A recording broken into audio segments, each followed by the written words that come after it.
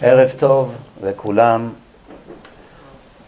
ברשות הרב היקר, הרב זיגדון, ותום שטרח רבות כדי לארגן את הערב הזה. ופעם ראשונה שאני זוכה להיות פה בעיר חריש. חשבתי הלילה לדבר על אחת הבעיות הקשות שיש בדורנו, והוא משברים באמונה להרבה שחזרו בתשובה, מחזיקים מעמד תקופה של חודשים או לפעמים אפילו שנים ונשברים ומתחילים לדרדר. אחת הסיבות העיקריות שהרבה בעלי תשובה לא מחזיקים מעמד ובסוף מדרדרים בהדרגה, עד שלפעמים מגיעים למצב של ממש בדיוק כמו שלפני שהתחילו את התשובה, או לפעמים אפילו גרוע מזה. כי לפעמים אדם, כדי למנוע את הבושה, הוא יעשה הכל כדי להוכיח בצדקתו. יגידו לו, למה חזרת, מה שנקרא, חזרת בשאלה, הרי היית דתי כמה שנים וכולי, אז הוא יתחיל להגיד, הוכיחו לי, הראו לי, טעיתי, רימו אותי, כל מיני סיפורים כאלה. אבל אני לא הולך עד כדי כך רחוק, אני לא מדבר על אלו שחיפשו תאוות ומצאו לעצמם דרך. אני מדבר על אלה שבאמת ובתמים רוצים להיות צדיקים, מחזיקים מעמד תקופה ואז פתאום נשברים. באמת צריכים להבין, אנשים פיתחו מין ציפיות כאלה שמי שיחזור בתשובה, הקדוש ברוך הוא עומד עם דף ועט והוא פונה אליו, בני היקר, מה בקשתך עד חצי המלכות ונען? תן לי רשימה של בקשות ואני מיד ארוץ לשרת אותך. מה אתה רוצה? אתה רוצה בית? אתה רוצה אוטו? אתה רוצה עבודה טובה? אתה רוצה בנים צדיקים? מה אתה רוצה? ואדם יש לו ציפיות, מה עכשיו שנהייתי צדיק? עד עכשיו מילא לא הגיע לי כלום, בסדר. אבל עכשיו שנהייתי צדיק ואני שומר מצוות וכולי, אז איך זה שהקדוש ברוך הוא לא רק שלא עוזר לי, אלא החיים שלי עוד יותר קשים ממה שהיו כשהייתי חילוני. זה אחת הסיבות העיקריות. סיבה נוספת, הרבה אנשים לא יודעים שאחד הדברים הכי טובים זה כשחוזרים בתשובה זה שחוטפים כמה סתירות. לא מבינים, אנשים חושבים שזה רע, הם לא מבינים שזה הראייה שהקדוש ברוך הוא קיבל את התשובה שלך. מי שחזר בתשובה והכל הולך לו חלק, בלי שום בעיות, שום התנגדויות, שום משברים, סימן שהתשובה שלו ודאי ובוודאי לא התקבלה. למה? בעם ישראל יש הלכה, יש חוקים, יש ספר חוקים, יש גמרא, יש שולחן ערוך, יש רמב"ם, יש חומש, יש את כל הדברים האלה, כולנו יודעים. רמב"ם מפורש בהלכות תשובה, תזכה למצוות. רמב"ם מפורש בהלכות תשובה. יש 36 איסורים בתורה שהעונש עליהם הוא כרת. כתוב בתורה, ונכרתה הנפש ההיא מישראל, או מהמאה. זה מופיע 36 פעמים בתורה. אחת מהם למשל זה עבירה שחילונים עושים קבוע, חילול שבת. כל שבוע מחללים שבת במשך הרבה שנים. מה התיקון לאדם שהפסיק לחלל שבת? זה שהוא מתחיל לשמור שבת ומשתפר משבוע לשבוע, ומתחרט על העבר, ומתבייש על העבר, ועושה וידויים כל יום, ומבקש סליחה, וביום כיפור הוא בוכה, וצם, ועברו כמה ימי כיפור, הכל טוב ויפה. ודאי שזה חלק ניכר מהתשובה, אבל כתוב מפורש ברמב"ם, וזה למדו מחז"לים מפורשים, שלמדו כמובן מהתורה ומפסוקים ומהנביאים וכולי, שאי אפשר לכפר על השלושים ושישה איסורים. אי אפשר לכפר עליהם כשחוזרים בתשובה ללא קבלת ייסורים, ביוד. בלי לקבל ייסורים, הכוונה סבל, עוגמת נפש, טרחה, הפסדי ממון, בעיות בריאות, משברים בשידוכים, בעיות בחיי הנישואים, צער גידול בנים, מחלות הנפש, כל מיני בעיות שנקראים יסורים. אי אפשר לכפר על עשרים שנה חילולי שבת, שלושים, ארבעים, חמישים, רק מזה שנהיית צדיק. רק מזה שאתה מתבייש מאוד. רק מזה שאתה מתחרט מאוד שחיללת שבת. רק מזה שאתה מתפלל כל יום למחילה, או עושה וידויים, חטאתי, אביתי, פשעתי, ורק מזה שאתה כבר צם עשרה ימי כיפור ובוכה ומתחנן, ו... ו... זה יפה מאוד, בלי זה אין תשובה, כמובן. אבל מה המכה בפטיש? מה סוגר את התשובה? זה כמו אדם, אני אתן לכם ראייה, אה, לא ראייה, משל, כמו אדם שעכשיו כתב עבודת מחקר, חודש הוא עובד, מהבוקר עד הלילה, כותב, כותב, כותב. בסוף הוא צריך לשלוח את זה נגיד לאוניברסיטה, הוא צריך ללחוץ סנד, צריך לשלוח את העבודה, נכון? יש לו עד יום כך וכך, בשעה כך וכך. אם עבד, עבד, עבד, עבד חודש, הרג את עצמו, מזיע, שובר את הראש, מביא ספרים, מה לא? אתם שומעים? מה לא? ובסוף לא שלח, לא לחץ סנד. אז בסוף לא קיבלו את העבודה שלו, והוא לא התקבל לדוקטורט. אז אין, הוא לא דוקטור, עכשיו ילך ינקה רחובות. אומרים, רואים אותו ברחוב, אומרים לו, תשמע, למה אתה מנקה רחובות? הרי עבדת חודש על הדוקטורט הזה, לא חודשים. אומר, אני לא מבין, אני לא מבין, אני עבדתי, הרגתי את עצמי הכל, תראה איפה גמרתי. זה לא פייר. אז אומרים לו, אדוני, יש חוקים בעולם. כדי להגיש את העבודה היית צריך ללחוץ סנד. מה זה הסנד?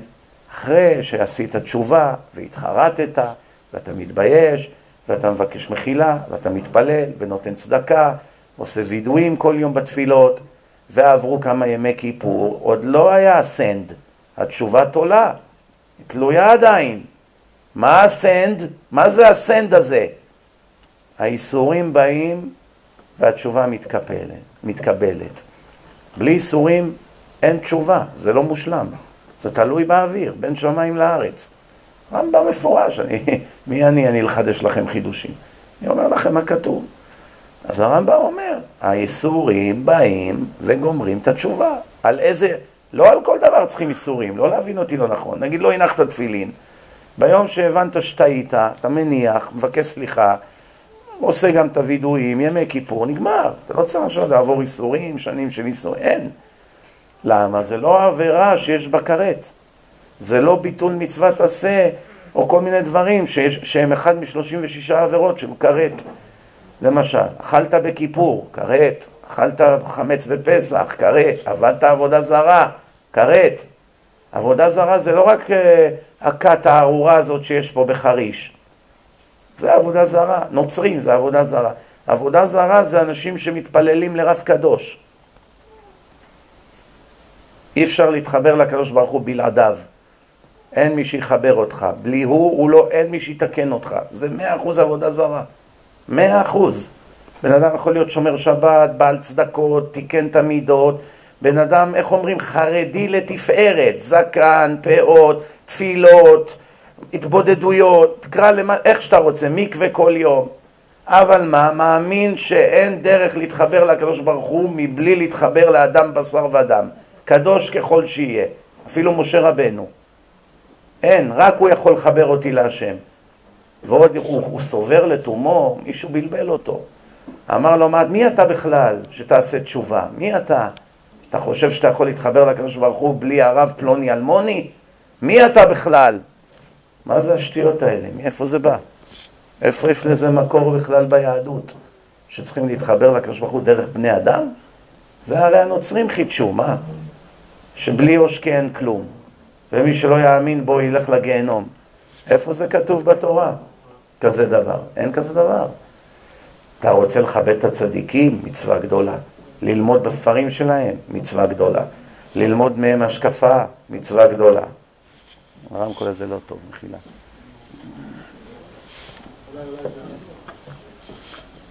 ללמוד מהם השקפה, אתה רוצה ללמוד השקפה?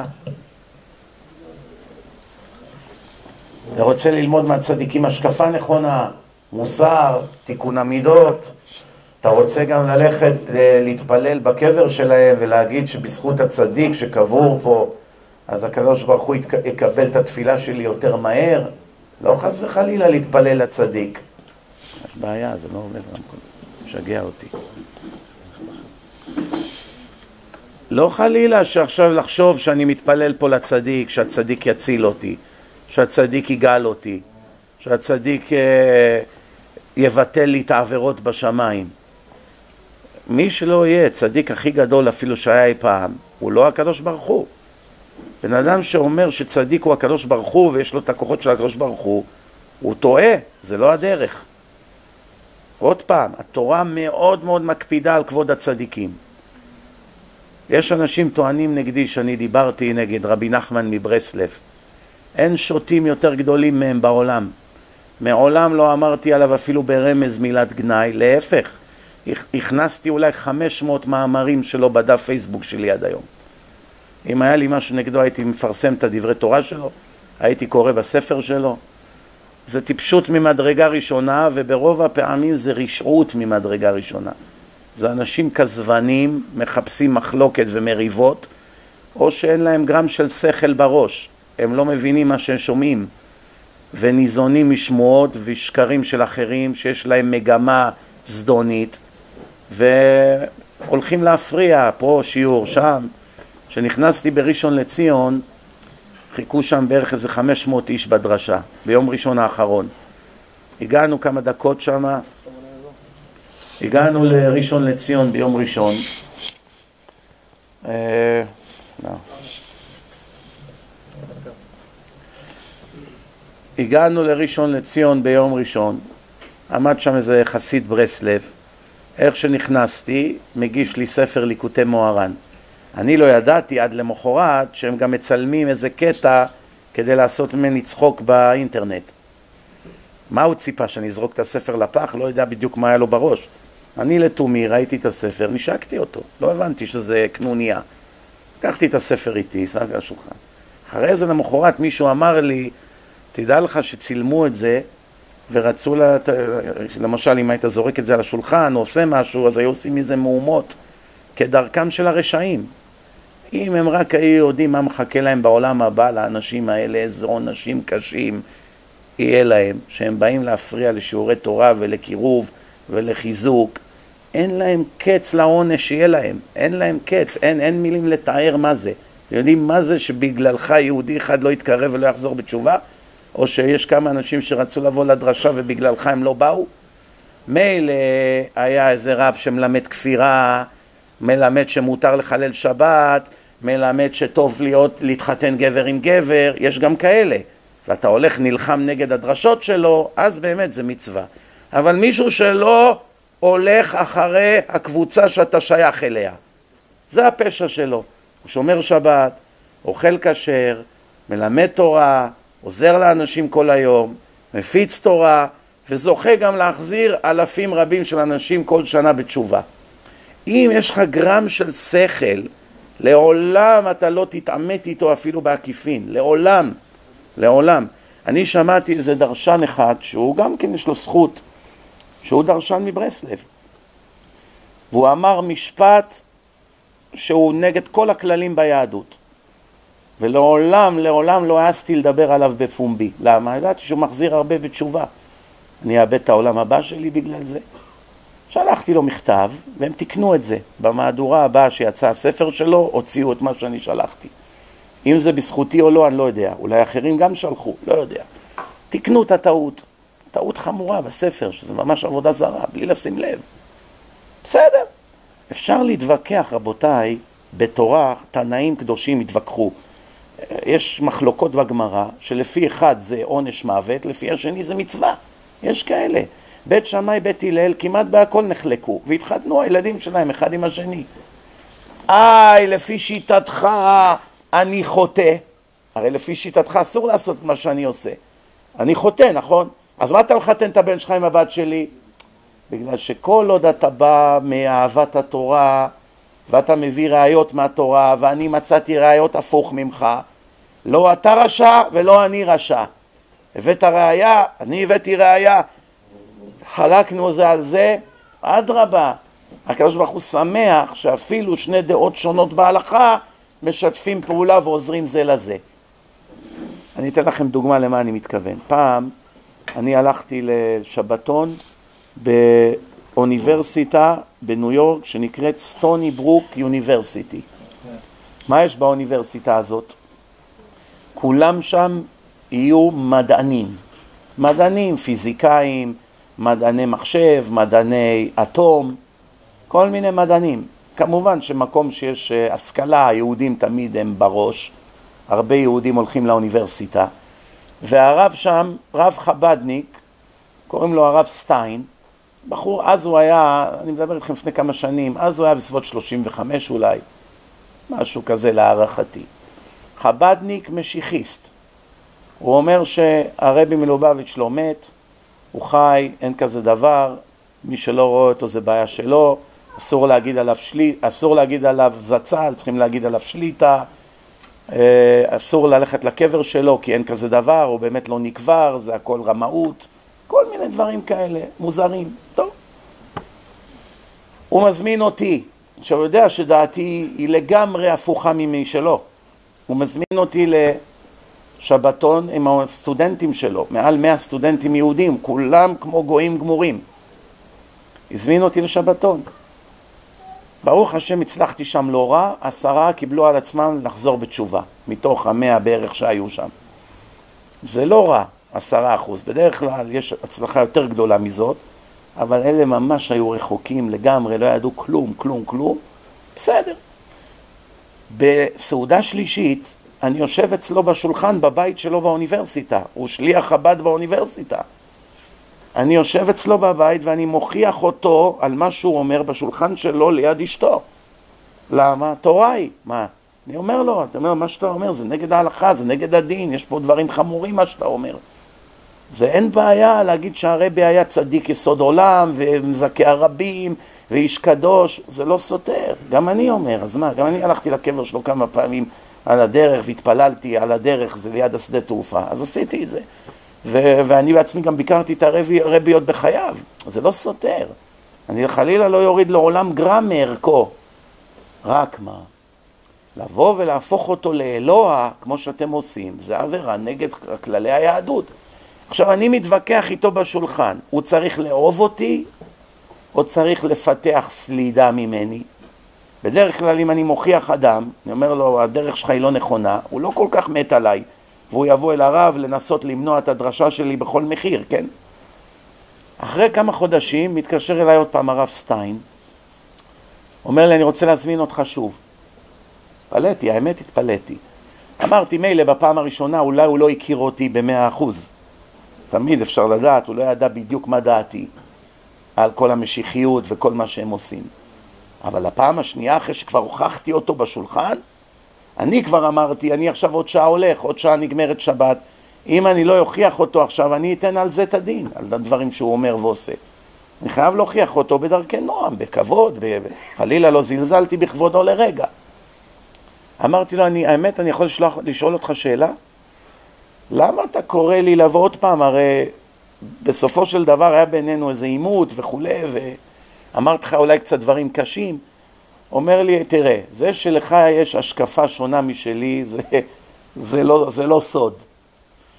אומר לי, אבל אני רוצה שהסטודנטים פה יחזרו בתשובה. הזמנתי הרבה מרצים, רכרוכים, נחמדים, מדברים בנועם, אף אחד פה לא אמר מוסר, לא זעזע פה אף אחד. שנים אני מזמין פה דרשנים, מעולם אחד לא חזר בתשובה. אף אחד לא נהיה שומר שבת. שנים אני פה, שנים. באת אתה שבת אחת, יש לי פה עשרה שומרי שבת. אומר לי, אז מה? אז אני, המחלוקת ביני לבינך, אני אתן שהיא תמנע מיהודים לחזור בתשובה? אמרתי לו, תדע לך, אתה הפכת עכשיו לגיבור גדול בעיניי. למה? למרות שאני ואתה, זה איך אומרים 180 מעלות, כל אחד בהשקפה הפוכה לגמרי, בהרבה דברים, לא בהכל. התעלית על האגו שלך ועל הכבוד שלך ועל האמונות שלך כדי להציל יהודים. זה יהודי שממש ראוי להערצה. עוד פעם, אני לגמרי לגמרי מתנגד לדברים שהוא אומר. בעיניי זה שטויות גמורות, והרבה ממה שהוא אומר גם כפירה אפילו. אבל אני יודע שהוא רוצה להחזיר יהודים בתשובה, ואני גם יודע שהוא רוצה להיות צדיק. הרי בסופו של דבר, למרות כל מה שהוא אומר, הוא רוצה למצוא חן בעיני השם, לא? יהודי שבא לשמור שבת, לשמור מצוות, אפילו אם דרכו אינה נכונה, מה בסופו של דבר מניע אותו? הוא רוצה למצוא חן בעיני השם. אז מישהו אמר לו, אם לא תאמין ברב הזה, התשובה שלך לא תתקבל. מישהו בלבל אותו, אמר לו את זה. אז הוא נכנס לו בראש שרק דרכו אפשר לעבוד את השם. ונכנס לו בראש שבכל הדרשות שהוא ייתן אי פעם בחיים שלו, הוא בחיים לא יזכיר אף פעם רב אחר, רק את אותו אחד. לא יגיד שמות של רבנים, רק אותו, הוא אמר, הוא אמר, הוא אמר, כאילו שזו תורה חדשה. ולא רק זה, גם שתשאל אותו, תגיד מי יותר גדול, הרב מלובביץ' או משה רבנו? בלי בכלל פקפוק, או אפילו הרהור, הם כולם עונים שם בניו יורק, בטח הרבה. כן, יעיד הרב רונן שאולוב, הוא היה אורח שלי, בשתיים בלילה עמדנו ברחוב, באו קבוצה והתחילו להתווכח איתו, מדברים איתו עברית. אמרתי לו, הרב שאולוב, זה לא ייגמר עד הבוקר הוויכוח הזה, שתיים בלילה. תן, תרשה לי רק לשאול שאלה אחת ותבין שחבל על הזמן. מה? אני אומר להם, חבר'ה, מי יותר גדול? הרבי מלובביץ' או משה רבנו? בטח הרבה! כל השלושה, נו. הוא קיבל הלם. אומר לו, חכה, חכה. אני אומר לו, אתם בטוחים? יותר גדול? אומרים לי, בטח, אתה לא יודע מי היה הרבי. אני אומר, אני בטח יודע מי היה הרבי. צדיק יסוד עולם. תגיד צדיק הכי גדול שהיה בדורנו. תגיד כל מה שאתה רק רוצה. גאון הכי גדול. אתה משווה אותו למשה רבנו שהתורה מעידה עליו שלא קם עוד כמשה? התורה, פסוק בתורה, עזוב אני. אתה מערער על התורה עכשיו. ברגע שאתה אומר שיש רב שהוא גדול ממשה רבנו, או נביא שיותר גדול ממשה רבנו, אתה מיד נהפכת לכופר. זה נגד שלושה עשר עיקרים של היהדות, אתה לא מצטרף למניין. מי מכם ידע את זה? גם אם אתה תבוא ותגיד הרב שלי יותר גדול ממשה רבנו ואתה באמת משום מה חושב שזה אפשרי כזה דבר עצם זה שיש לזה פסוק בתורה ועצם זה שאתה רואה שזה אחד משלושה עשר עיקרים של היהדות שמשה הוא גדול הנביאים ולא קם עוד כמשה וכולי ואתה מעז להגיד כזה דבר בכזה בוז ושחצנות מיד נהפכת לכופר. כופר בעיקרים, מה זה פה? עוד פעם, חלילה מילים מלפקפק בגדלותו של הרבה או כל רבה אחר, או חלילה אי פעם להגיד מילת גנאי עליהם, חלילה חס ושלום, מיליון פעמים חס ושלום.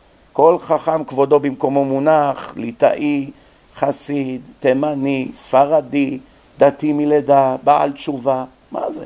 מי יכול חלילה לבזות חכם, חכם שמלמד תורה וכותב ספרים, ו... זה טיפשות ממדרגה ראשונה, זה כמו עבריינים בשכונה, או אתה בצד שלי, אתה איתי, אתה לא איתי, מה זה פה פוליטיקה, מה זה כנסת? אני לא מסכים עם דעתך, אני לא אבוא לדרשה שלך, נגמר. מה אתה הולך לחבל? מה אתה הולך לאיים? אלא רבותיי, תדעו לכם דבר אחד, מי שיודע שהאמת היא איתו, הוא לא צריך להיות לא אלים ולא מיסיונר ולא להפעיל לחצים, אלא רק לומר את האמת, וסופה של האמת תמיד לנצח. ברמב"ם מפורש, האמת סופה לנצח. אתה תגיד את דעתך, אני אגיד את דעתי, בסופו של דבר האמת תמיד תנצח. וזהו. זה כדי לתת לנו קצת הבנה מה מדובר פה. אין כזו מציאות שאתה תעשה עבירות ואיזה רב יתקן אותך. אין כזה דבר, אתה תבעל נידה ותהיה הומוסקסואל ותהיה מחלל שבת ותעשה את העבירות הכי חמורות וטונות של זרע לבטלה ואיזה רב צדיק ימשוך אותך מהפאות מהגיהנום. אין יותר בלבולי מוח וטיפשות מהטענות האלה. אין, אין, אין יותר טיפשות מזאת. זה לא חלילה מוריד כהוא זה מגדלות הרבה. זה לא, מה זה סותר? מה זה סותר? מה? יכול להתפלל עליך? יכול להיות שאם תלמד הספרים שלו אז תפסיק להיות רשע, כן, אבל לבוא ולהגיד כאלה דברים, זה לא מתקבל על הדעת, זה לא נתפס. ותדעו לכם שהצדיקים הגדולים של ברסלב, התלמידי החכמים, לפני 25 שנה, הלכו לאוקראינה, לאומן, למבצע, להביא את הגופה של הרבה לארץ ותפסו אותם, הקומוניסטים. תפסו אותם על חם, והם ישבו שישה חודשים במאסר, 12 צדיקי ברסלב, תלמידי חכמים זקנים, הלכו להביא את רבי נחמן לארץ, והם הגאונים האמיתיים של ברסלב. אנשים פרושים, עם יראת שמיים, הם רצו להביא את הגופה לארץ הקודש. משמע שכל מה שאומרים היום חייבים ללכת לשם וזה, זה בכלל לא דעתם הייתה. מה פתאום, הם רצו להביא אותו לפה. ודרך אגב, בסופו של דבר כן הביאו אותו לפה. גופה שלו נמצאת קבורה בקבר חנה ושבעת בניה, בדוק. שלושה תלמידי חכמים גדולים העידו, יש את זה בווידאו, שהם הביאו את הגופה, וזה שקבר את הגופה שלו במו ידיו, אמר, אני קברתי את הגופה לפני עשרים ומשהו שנה בקבר חנה ושבעת בניה. לכן כל מי שמבזבז 40 מיליון דולר כל שנה לנסוע לשם, זה הכל בזבוזי זמן וכסף. עכשיו, אתה לא מסכים איתי? בסדר, אל תסכים. מה עשיתי לך? מה, מה, מה, מה עשיתי לך? פגעתי בך? מה עשיתי לך? נפגעה לך הגאווה? תגיד, הוא מבלדר את המוח, הוא מדבר שטויות, לא מסכימים איתו, נגמר, מה? מה אתה צריך לקרוא פליירים? מה אתה צריך לאיים? מה אתה צריך לבזות? מה אתה צריך להסריט וידאו ולעשות צחוק באינטרנט? הרי אתה תשלם את המחיר, טיפש. מי ישלם, אתה חושב, בעולם הבא? מה אתה חושב, שזה פשוט לבוא ולחבל בתשובה? או למנוע מהאנשים להתקרב רק בגלל שלא עשו את רצונך? זה צריכים לדעת את זה. טוב, נחזור לעניין. שוב רבותיי, שלא חלילה מישהו מכם יסלף או יפרש לא נכון את דבריי. מעולם לא עלה על דעתי להוריד בכבודו של חכם אפילו אחוז. כל מה שכבודו בעיני השם, השם יודע מי הוא, ולכן זה סתם בלבולי מוח להגיד הוא פגע בו, עשה בו, אמר נגדו, שטויות. גם על אותו דבר, על הרבה, אני יש לי מטבע מכסף שהרבה נתן לי. לא יודע, ראה אותי, אולי ראה דברים מה יהיה בעתיד. הלך, הביא לי מטבע, לא דולר רגיל. חוץ, נתן לי כמה דולרים, פתאום הלך, הביא לי מטבע מכסף. זה מעניין, זה היה ל"ג בעומר בדיוק. זה היה בדיוק בשבוע של ל"ג בעומר, כמו עכשיו.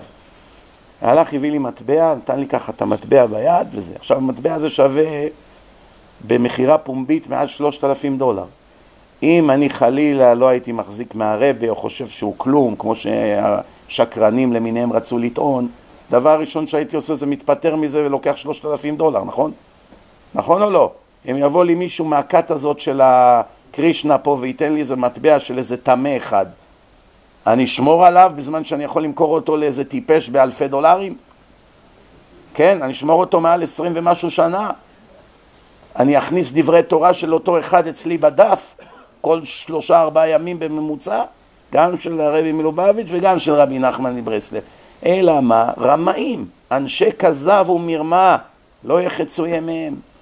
האנשים האלה, אני צר לי עליהם, תאמינו לי, אני ממש מתפלל שהם יחזרו בתשובה ושהשם ימחל להם. אני באופן כללי מוחל מהר לכל אחד. כל אחד שמתקשר אליי, דיברתי עליך, הזקתי לך, עשיתי לך, קראתי, שברתי דיסקים שלך, מיד אני מוחל לו, אני אפילו לא שואל. מה עשית, איך עשית, אני לא מעניין אותי. אני אומר לו, מחול, מחול, אל תעשה את זה בעתיד יותר לאחרים, נגמר הסיפור. למה? לא בגלל שאני צדיק, שלא תחשבו שאני בא לעשות לכם עכשיו רושם. פשוט מאוד אני אוהב את עצמי. וכתוב, מי שמוחל לאחרים, מוחלים לו מן השמיים. אם אתה מקפיד וככה ועושה כל מיני מהומות, גם לך יעשו בשמיים ככה. כל המעביר על מידותיו, מעבירים לו כל פשעה. קודם כל אדם צריך להכיר בערכו. לא משנה מי אתה, איזה חכם אתה, ואיזה רב אתה, ואיזה קדוש אתה, תמיד אתה צריך להבין, אני עפר ואפר, אני כלום. גדולי ישראל חשבו שהם כלום, בוודאי שאני כלום. אם דוד המלך קורא לעצמו אנוכי תולד ולא איש, והקדוש ברוך הוא הכניס את זה בתנ"ך, משמע דוד באמת ככה סבר. כי אם דוד היה חלילה נוכל, והשם היה יודע שבלב שלו הוא מתגאה, רק עושה עלינו רושם ואומר אנוכי תולעת, זה לא היה חלק מהיהדות בתנ"ך, נכון? אם זה מופיע בתנ"ך, בתהילים זה חלק מהתנ"ך. אם זה מופיע בתהילים שדוד המלך כותב ואנוכי תולד ולא איש, משמע ככה הוא סבר. אז אם דוד שהיה פי מאה מיליון יותר חכם וקדוש וצדיק מכולנו ביחד, הוא חשב שהוא תולעת, אז מה אנחנו, מי אנחנו בכלל? זה כלום, אנחנו כלום, היינו כלום, ולא משנה כמה נתקדם, נישאר עדיין ברמה של אפס. רק מה? הקדוש ברוך הוא מבין את הדור, מבין את המכשולים, מבין את הניסיונות. הוא ידון אותנו כאילו שאנחנו אנשים גדולים. כמו שאמר הארי הקדוש לפני 500 שנה לרבי חיים ויטל. אומר לו, תדע לך, מעשה קטן בדור הזה זה כמו מעשה גדול בדור של התנאים. ומאז הארי ועד היום 500 שנה של ירידת הדורות, מעשה קטנטן היום זה כמו מעשה גדול בזמן התנאים. זה פשוט. בדור של טומאה, בדור של פריצות ברחובות, בדור של שקר, בדור של כל כך הרבה שנאת חינם, ודור של חילולי שבת, ודור שגדלו פה 80% מעם ישראל אפילו לא יודעים מה זה שבת, דור שאם תיקח פה מיליון ילדים ברחובות, תשאל אותם מה זה שולחן ערוך, הם אפילו לא יודעים מה זה. לדור כזה הגענו, הבנתם? אז בדור כזה, מי שחוזר בתשובה ושומר מצוות ובא ללמוד תורה איזה שעה, שעתיים ביום, אלה מעשים גדולים. ומכאן אני רוצה להמשיך הלאה למה שבאמת רציתי לדבר עליו. צריכים לדעת את זה, רבותיי. אחרי שאתה חוזר בתשובה, החיים זה לא תוכנית כבקשתך. אתה לא תחלל בחליל והקדוש ברוך הוא ירקוד לפי המוזיקה שלך. אתה לא תעשה לקדוש ברוך הוא תנאים כי כתוב בתורה לא תנסו את השם. אתה לא תגיד עד שאני לא אתחתן אני לא אהיה באמת צדיק, שהשם ישלח לי זיווג אז אני אהיה כך וכך וכך. כי אם אתה תגיד כזה דבר, ברוב המקרים אתה תגזור על עצמך יותר גרוע. ואם יהיה לך כל הזמן טרוניות ותלונות לקדוש ברוך הוא, מצבך לא ילך וישתפר, אלא ילך וידרדר. עד שתגיע למצב של כזו ריקניות, ויהיה לך משבר, ותחזור להיות חילוני, כמו שקרה לצערנו לאלפי אנשים. קודם כל, כדי לחזור בתשובה, זה לא רק להתלהב ולקרוא כמה ספרים ולחשוב שנהיית צדיק, או לגדל זקן ופאות. זה הצד הפחות חשוב בתשובה. הצד האמיתי בתשובה הוא קודם כל להפך לבן תורה, להכניס לך בראש. התורה צריך להיות הדבר הכי חשוב אצלי בחיים. כרגע עדיין יש לי את השטויות של הכדורגל, והחוף הים, ואני יודע מה, גלשנים, ואישה יפה, אני רוצה להתחתן, ומוזיקה, וכל מיני שטויות שיש לאדם בראש. בסדר. לא מצפים ממך להיות רבי שמעון בר יוחאי בשבועיים. מבינים מאיפה באת. אבל אם אתה לא תדע מהי האמת, אתה לא תגיע לשם לעולם. הדרך היחידה להגיע אל האמת זה קודם כל לזהות מהי האמת, ולדעת מהו השקר, ולדעת את הליקויים שלי. אם אדם חולה לא יודע מהי המחלה שלו, שומעים מה אני אומר? אדם לא יודע מה מחלתו, הוא יכול להתרפא? אדם יש לו כאב בטן, הוא לא יודע שיש לו תולעים בבטן, הוא לא שמע שיש כזה דבר. חושב, אולי אכלתי משהו מקולקל, זה... בסדר, הוא לא מטפל בבעיה. מה יקרה עוד שבוע? יותר גרוע. אנטיביוטיקה, תרופות, היו הורגות את זה. או כל מיני כאלה דברים. אדם יש לו כאב ראש, אה, בא לי לפעמים התקררות. מאיפה אתה יודע? אולי זה גידול בראש, לא עלינו. אולי זה שבוע לפני שבץ. אני בש... בשבת לא האחרונה, שבת שלפני, דיברתי עם מחלל שבת, שהוא נכד של אחד מגדולי ישראל. שאחד, הסבא שלו היה הרב הראשי של איזה מדינה מסוימת. וגדול עולם, פוסק הלכות גדול. אבל הוא בארץ, גידלו אותו כבר, ופה הוא נהיה חילוני בילדותו. ואמרתי לו, תדע לך שהקדוש ברוך הוא, אליך יש לו פחות סבלנות מלחילוני רגיל. חילוני רגיל, הוא בא ממשפחה של חילונים, הוא לא יודע הרבה. הוא... אבל אתה בא ממשפחה של גדול עולם, שם שלך קרוי על שמו. השם ברך אותך בהמון המון כסף, בהצלחה, ברך אותך בכל מכל כל, ואתה תמשיך למרוד בו ולחלל שבת ולנסוע במכונית, אתה מסתכן, אתה מתחייב בנפשך, תיזהר. זעזעתי אותו מאוד, אחרי כל זה, הלכתי לתת איזה דרשה באיזה מקום, חזרתי אחרי שעה וחצי, הוא נסע חזרה עם המשפחה שלו הביתה בשבת. אמרתי, כף זכות, הוא כבר נתקע פה, הוא לא רוצה עכשיו להישאר לישון פה, לא התכוננו, אולי זו פעם אחרונה שהוא ייסע. אני מקווה. לא עברו שלושה ימים, קיבל שבץ במוח. במצב אנוש בבית חולים. שלושה ימים עברו. אני הזהרתי אותו, כאילו השם שם לי בפה להזהיר אותו אזהרה אחרונה. אז היה יום אחד במצב של תרדמת, התעורר, חצי גוף משותק. אמרתי, זה עוד לא אבוד. לפעמים זה רק כמה שבועות והגוף חוזר לתפקד. יש שיתוקים לא עלינו לכל החיים. ויש שיתוקים רק בגלל שיש איזה משהו שלוחץ על איזה משהו בתוך המוח. והיום נודע שבאמת יש לו בצקת במוח. ובדרך לפה, אני עוד לא יודע מה התוצאות, בדרך לפה הודיעו לי שהוא הלך ל-CT, לסקן, הפסיק לעבוד. זה לסקן, זה סקן של המוח, עושים uh, סריקה של המוח, ורוצים לראות אם הבצקת ירדה, נתנו לו כל מיני תרופות שמדללות את הדם, שיהיה זרימה, לא יודע, אני לא מבין בזה בדיוק, שמקווים שעכשיו ב-CT באמת זה ירד הנפיחות וכולי וכולי, והוא יחזור לתפקד, הוא יוכל להזיז את הגוף. אז אני אמרתי לקרוב משפחה שלו שדיווח לנו על האסון שקרה, אמרתי לו, תשמע טוב, אתה ואני יודעים מה קרה פה, רוב האנשים לא יודעים. מסתכלים, מקרה, כולסטרול, לחץ דם, אה, סטרס, כל מיני עניינים. אתה ואני יודעים בדיוק מה קרה פה. הקדוש ברוך הוא שם לי מילים בפה להזהיר אותו לפני שנגזרת עליו הגזרה סופית. הוא המשיך לחלל, חזר, אמר אוקיי, בינתיים אני לא חוזר בתשובה. השם נתן לו עכשיו מכה רצינית. ייתכן שהשם יוציא אותו מזה, אבל אתה מבין מה יקרה אחר כך. כבר לא יהיה, זהו, זה הגענו כבר ל-99 אחוז, אין יותר לאן להתקדם. זה כבר לא רכוש, זה כבר בגוף. ואם השם נותן לבן אדם מכה שהוא יכול חלילה לשכב במיטה עכשיו 30 שנה, משותק, והוא יוציא אותו מהמצב הזה, מה המסר? בני, לא נשאר לי מה לענות לשטן במקרה שלך. נתנו לך עכשיו את המכה הזאת בתקווה שתבין. אם תבין, אני משתיק את השטן, הנה, חזר בתשובה, חוזרים עכשיו. מוריד לך את העבירות שהקדישו את הסאה. הרי השטן כל הזמן מקטרג, מה אתם חושבים? מה אתם חושבים? הקדוש ברוך הוא נהנה להחטיף לאנשים אגרופים ומכות ושיתוקים והתקפי לב? והפסדי ממון? חס ושלום, מה? אין לקדוש ברוך הוא ברירה, הוא ברא את העולם במידת הצדק.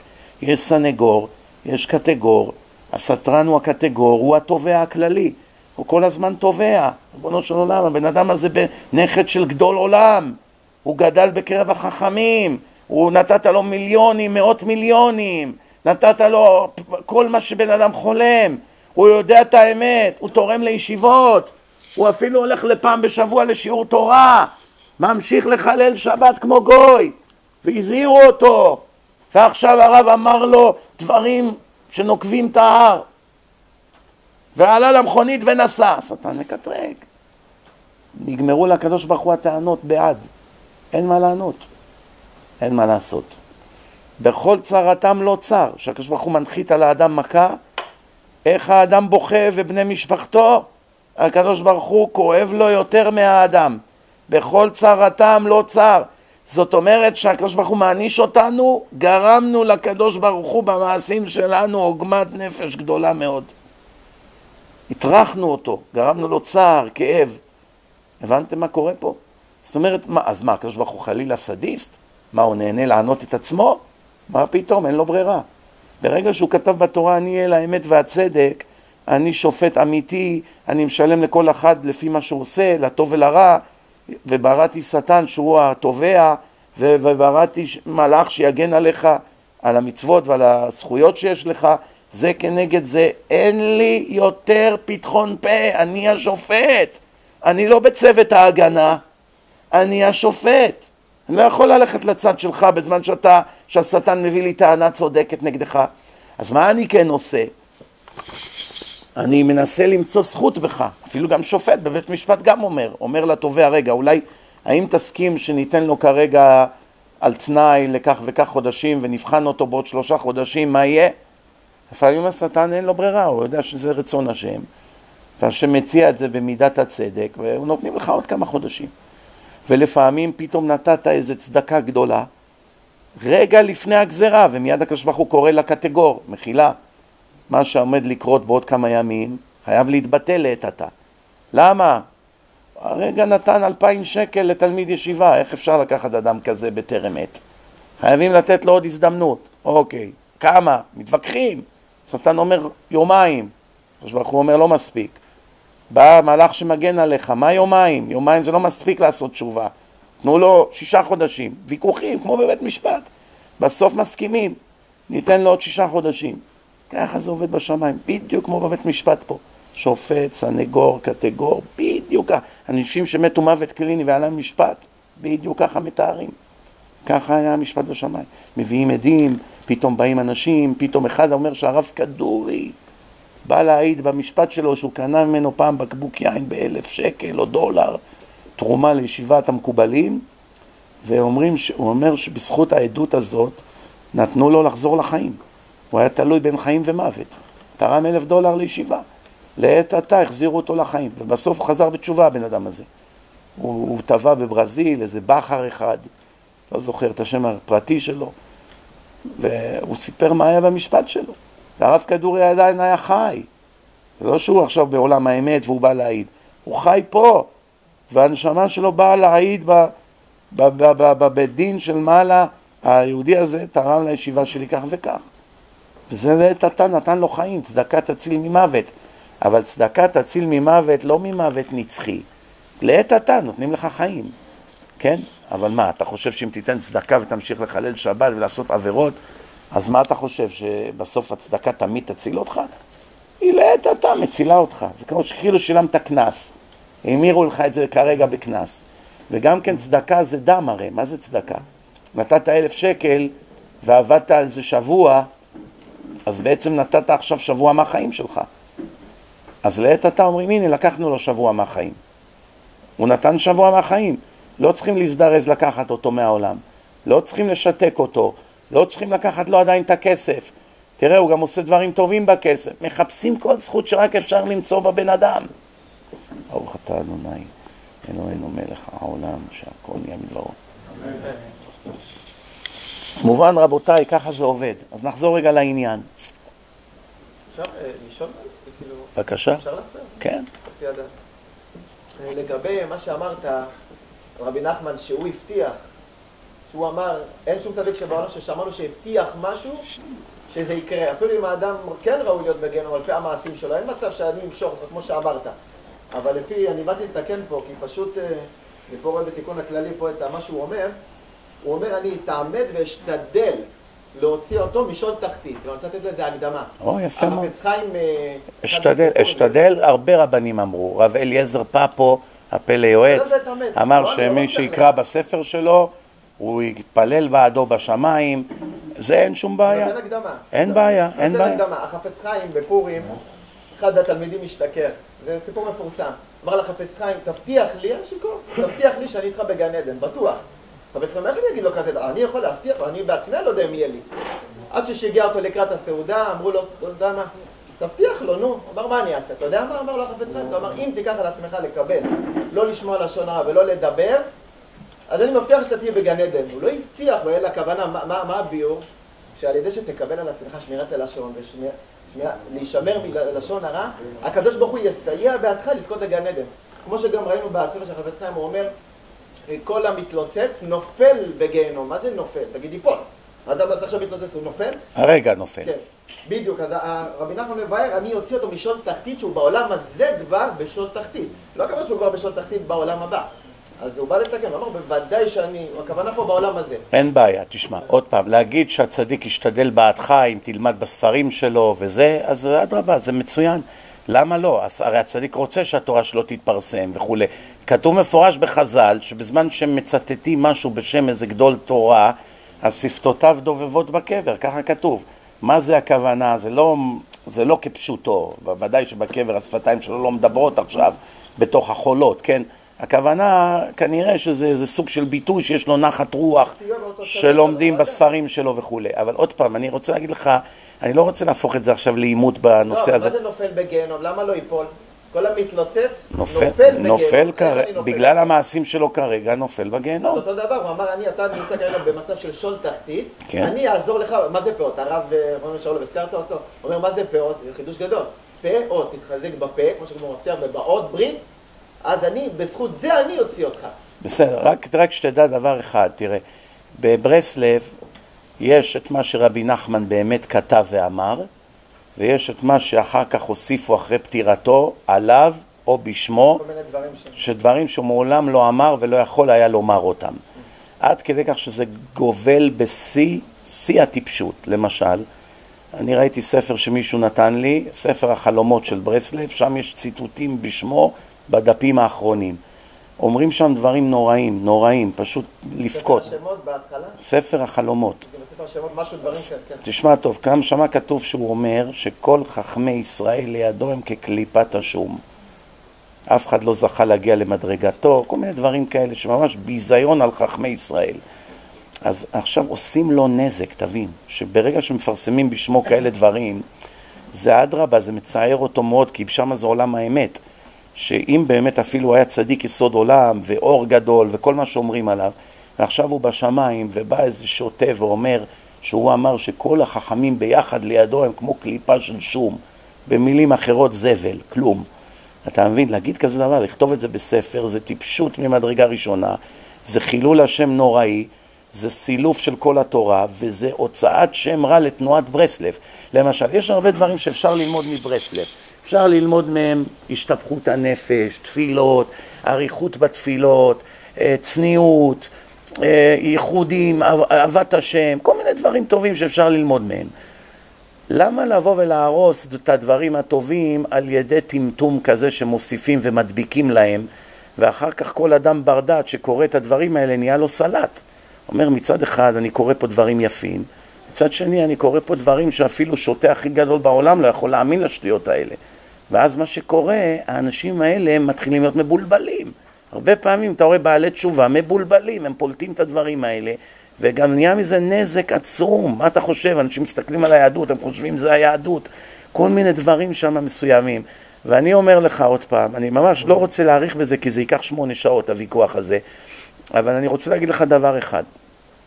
יש את ספר ליקוטי מוהר"ן, הוא נכתב בחייו של רבי נחמן, רבי נחמן ראה אותו, אם היה לו משהו נגד הספר הזה, ודאי הוא היה אומר ומוחה. עצם זה שהספר הזה יצא בחייו וככה הוא יצא, זה מובטח שזה דעתו. כל הספרים שבאו אחר כך זה אחרי פטירתו. הוא לא היה שם לברר, לוודא, אולי נפלה טעות דפוס, כל מיני דברים כאלה. אז כבר זה, הספרים ההם הם לא במדרגת ליקוטי מוהר"ן. ובליקוטי מוהר"ן בדף האחרון, שראיתי שבכמה מהדורות השמיטו את זה, כי יודעים שיש פה בעיה רצינית מאוד, בדף האחרון בליקוטי מוהר"ן כתוב שרבי נתן תלמידו המובהק אמר הייתה לרבנו תורה בעניין ראש השנה שמתקבצים אצל הצדיק בראש השנה שהצדיק הוא מבחינת ראש וראש השנה הוא ראש ולא זכיתי לקבלה מידו.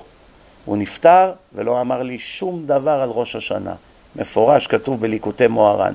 לכן, כל מה שאי פעם שמעת, השנה, אומן, זה, איש בל יעדר, חייבים לבוא, אומן עיר הקודש, אם לא תבוא לשם לא תיגאל, הכל בו במייסס. לא היה ולא נברא. מעולם רבי נחמן לא רצה לענות אלפי יהודים צדיקים לבוא באוניות מארץ הקודש שישה חודשים בלב ים להגיע לאוקראינה באונייה בזמנו שלא היה חשמל ולא היה אוניות עם מנוע לבוא שישה חודשים בים לאומן הלוך ושישה חודשים חזור אז אין לך בכלל מה להיות בארץ ישראל כי הרי אתה חייב להיות שם באומן. איש בא להיעדר ולבוא מישראל לאומן זה שישה חודשים בלב ים. וכמעט אף אחד לא יוצא חי מלב ים. יש פיראטים ויש שודים ונתקעים בגושי קרח ויש נזילות ומתים ברעב ומאבדים את הכיוון, זה פיקוח נפש קטלני. לא יעלה על הדעת שאדם צדיק קדוש כמו רבי נחמן שמסר את נפשו עבור האמת ועבור כל מיני דברים שהתורה מצווה והוא עשה את זה במידת חסידות יצווה אנשים פשוטים, אנשים קשי יום שגרים פה בארץ הקודש שיסכנו את החיים שלהם ויהיו בלב ים וייתנו לגויים לאנוס אותם ולשדוד אותם ולרצוח אותם והאנשים שלהם יישארו פה עגונות והילדים שלהם יגדלו בלי אבא ולא יהיה להם תורה ולא ישיבות והם יהיו בלב ים כל החיים שלהם. הלוך חזור לאומן זה לא מתקבל על הדעת. לפי זה הוא היה צריך לצוות שכולם יעברו לגור באומן. כי אין מציאות לבוא מארץ ישראל לאומן חזרה. לכן כל ההמצאה הזאת איש בל יעדר זה רמאות זה הונאה, זה מעולם לא היה, מעולם הוא לא אמר לבוא לחוץ לארץ, למקום טמא, ארץ עמלק שמה, עם כל הפריצות שיש שם וכל הגויים השיכורים והקוזקים שהיו שם, שונאי ישראל, הוא מעולם לא היה מביא אנשים מירושלים או מטבריה או מצפת, ואומר להם לבוא עד לשם לקברו. מה זה השטויות האלה? כל אדם עם גרם של שכל מיד מבין שזה מעולם לא היה. כל מה שמוכרים לכם זה הכל שקרים. עוד פעם, להגיד שרבי נחמן היה תלמיד חכם, כן. ללמוד ליקוטי מוהר"ן, כן. להתחזק מהמוסר שלו, כן. ללמוד ממנו דברים לחיים, כן. להתפלל שבזכות הצדיק הזה הקדוש ברוך הוא יקבל את התפילות שלי, כן, הכל, אני לא חולק. כמו שאני לא חולק שאם תגיד את זה על הרמב"ם, או תגיד את זה על הבן איש חי, גם עליו אני אומר, תגיד גם עליו, אין בעיה, אבל אל תעשה ממנו רשע, אל תעשה ממנו רוצח, אל תעשה ממנו אדם חסר רגשות שמצווה על אלפי אנשים למות בשביל לבוא לקבר שלו, מה פתאום? מי שלימד את השטות הזאת, אין פושע יותר גדול ממנו. ותדעו לכם, מי שעשה את זה, זה אך ורק סוכני הנסיעות. הם גורפים מיליוני דולרים כל שנה. אני לא מגזים. זה לא היה לפני 25 שנה. לפני 25 שנה היו הולכים לאומן 12 איש, לא 30 אלף. איך נהיה 30 אלף? איך? הרי אף פעם ברסלבים הקודמים, בדורות הקודמים, אף אחד לא סבר שצריכים לנסוע לשם בראש השנה. אף אחד. איך פתאום זה נהיה כל הדת? תחשבו על זה.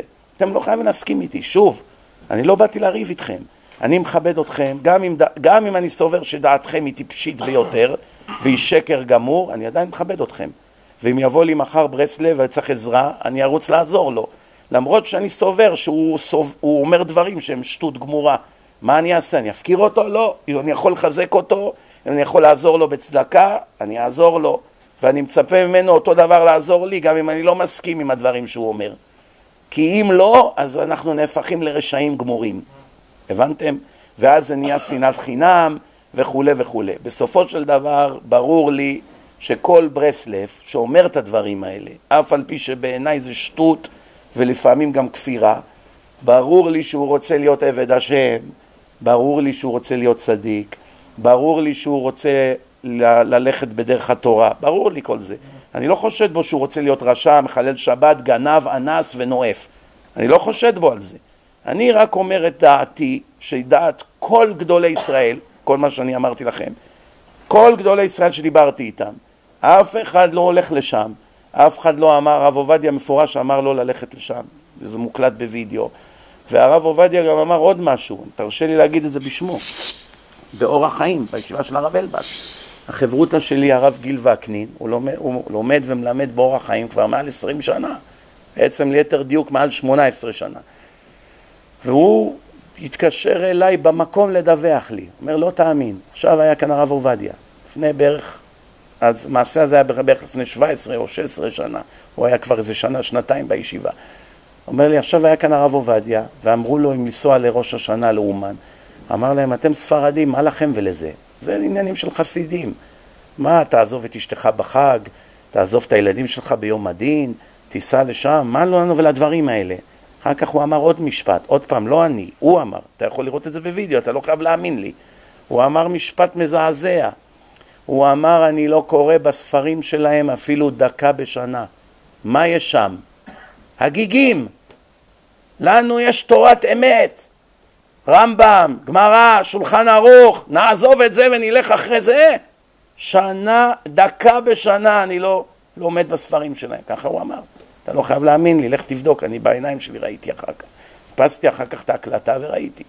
אבל זה החברותא שלי שהוא צדיק יסוד עולם. בעל מידות מושלם, אדם לתפארת, במקום התקשר להגיד לי, לצטט לי מה עכשיו היה בדרשה באורח חיים. הוא בא לגנות את הספרים? לא, הוא דיבר על הספרים האלה שאני מדבר עליך שהכל שם שקרים. ודאי שהרב עובדיה לא התכוון לליקוטי מוהר"ן. ליקוטי מוהר"ן זה ספר קדוש, מה זה? יש שם הרבה תורות, דברים חשובים. כל מה שאחר כך אומרים וממציאים סותר לחלוטין את ליקוטי מוהר"ן. כי ברגע שכתוב בליקוטי מוהר"ן שרבי נתן מעיד שרב נחמן נפטר ולא אמר לו שום דבר על ראש השנה, נגמרה הסוגיה. אין על מה להתפלפל אפילו. כל מה שיגידו אחר כך, יש בל ייעדר, חייבים לבוא לשם, הכל שקרים. הכל פוליטיקה ואג'נדה של מישהו שהיה לו אינטרס.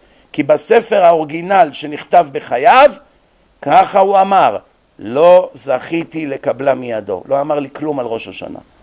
ואם אתה בר דעת, לדעתי, זה צריך להספיק לך כדי להבין עוד פעם, אני לא אומר לך להפסיק ללמוד בליקוטי מוהר"ן. ואתה רוצה לקרוא לעצמך ברסלב, תהיה ברסלב, אין שום בעיה. אתה גם מוזמן לבוא לאכול אצלי בשולחן שבת. אין שום בעיה ביני לבינך אישית. אתה גם שוב, אתה גם לא חייב להשתכנע ממני, זה כבר בעיה בינך לבין השם. אם אתה תהיה צודק, תהיה צודק. ואם אני, אז אני צודק. אבל בסופו של דבר, אני לא כואב לי על הוויכוחים. ויכוחים זה לגיטימי. כל היהדות זה ויכוחים. כל הגמרא זה קושיות, תירוצים, ויכוחים. כל גדולי ישראל התווכחו במה זה ההשקפה הנכונה. אני מרגיז אותי המלחמה המטופשת הזאת. שאנשים כמו איזה פושטקים ברחוב, הכל באלימות, בקללות, באיומים, בלהפריע, מה זה הדברים האלה? זה דרך התורה?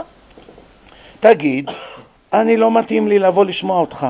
הדרשות שלך לא מדברות אליי. בסדר, מכבד אותך, אתה לא חייב לשמוע, כל העולם חייב לשמוע אותי? מה זה, זה ייהרג ולא יעבור? לא. אבל תן קצת כבוד, בסוף, בסופו של דבר אתה רואה כמה אלפי אנשים פה הולכים שומרים מצוות מהדרשות שלי. זה לא שעכשיו הם נהיו מהאוויר, הם התחזקו, אז אתה רואה את זה, אז שתוק לפחות על זה. תגיד, אתה יודע מה, אני לא מקובל עליי מה שהוא אומר על ברסלב, בסדר, אבל אני שותק, למה? אמרתי לך, יש אחד מגדולי המשפיעים בברסלב, שהוא אמר בדרשה דברים מזעזעים בעיניי, מעולם לא העזתי להגיד את השם שלו בפרהסיה לרעה.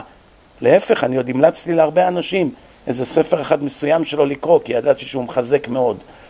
למה? כי אני יודע שהוא החזיר הרבה אנשים בתשובה. אני אבוא עכשיו ואדבר נגדו, זה יזיק. אז אנשים שיכולים עכשיו לחזור בתשובה ממנו לא יחזרו, מי ישלם? אני. הבנת? זה הנקודה. טוב, נחזור רגע לעניין של האמונה, כי זה מאוד חשוב להבין את הנקודה הזאת. רבותיי, מי שחוזר בתשובה, או בתחילת ההתחזקות שלו, או אפילו כמה שנים בהתחזקות, והוא מצפה שהחיים שלו יהיו פיקניק, הוא טועה בגדול. להפך, אם אתה רואה שאתה חוטף מכות בכסף, מכות בבריאות, מכות בשידוכים, כל מיני דברים, בעיות עם הילדים, רופאים, בתי חולים, תזכור טוב טוב את מה שאני אומר עכשיו. זה חייב להיות ככה, כי אם לא, יש לך מיליוני איסורי כרת.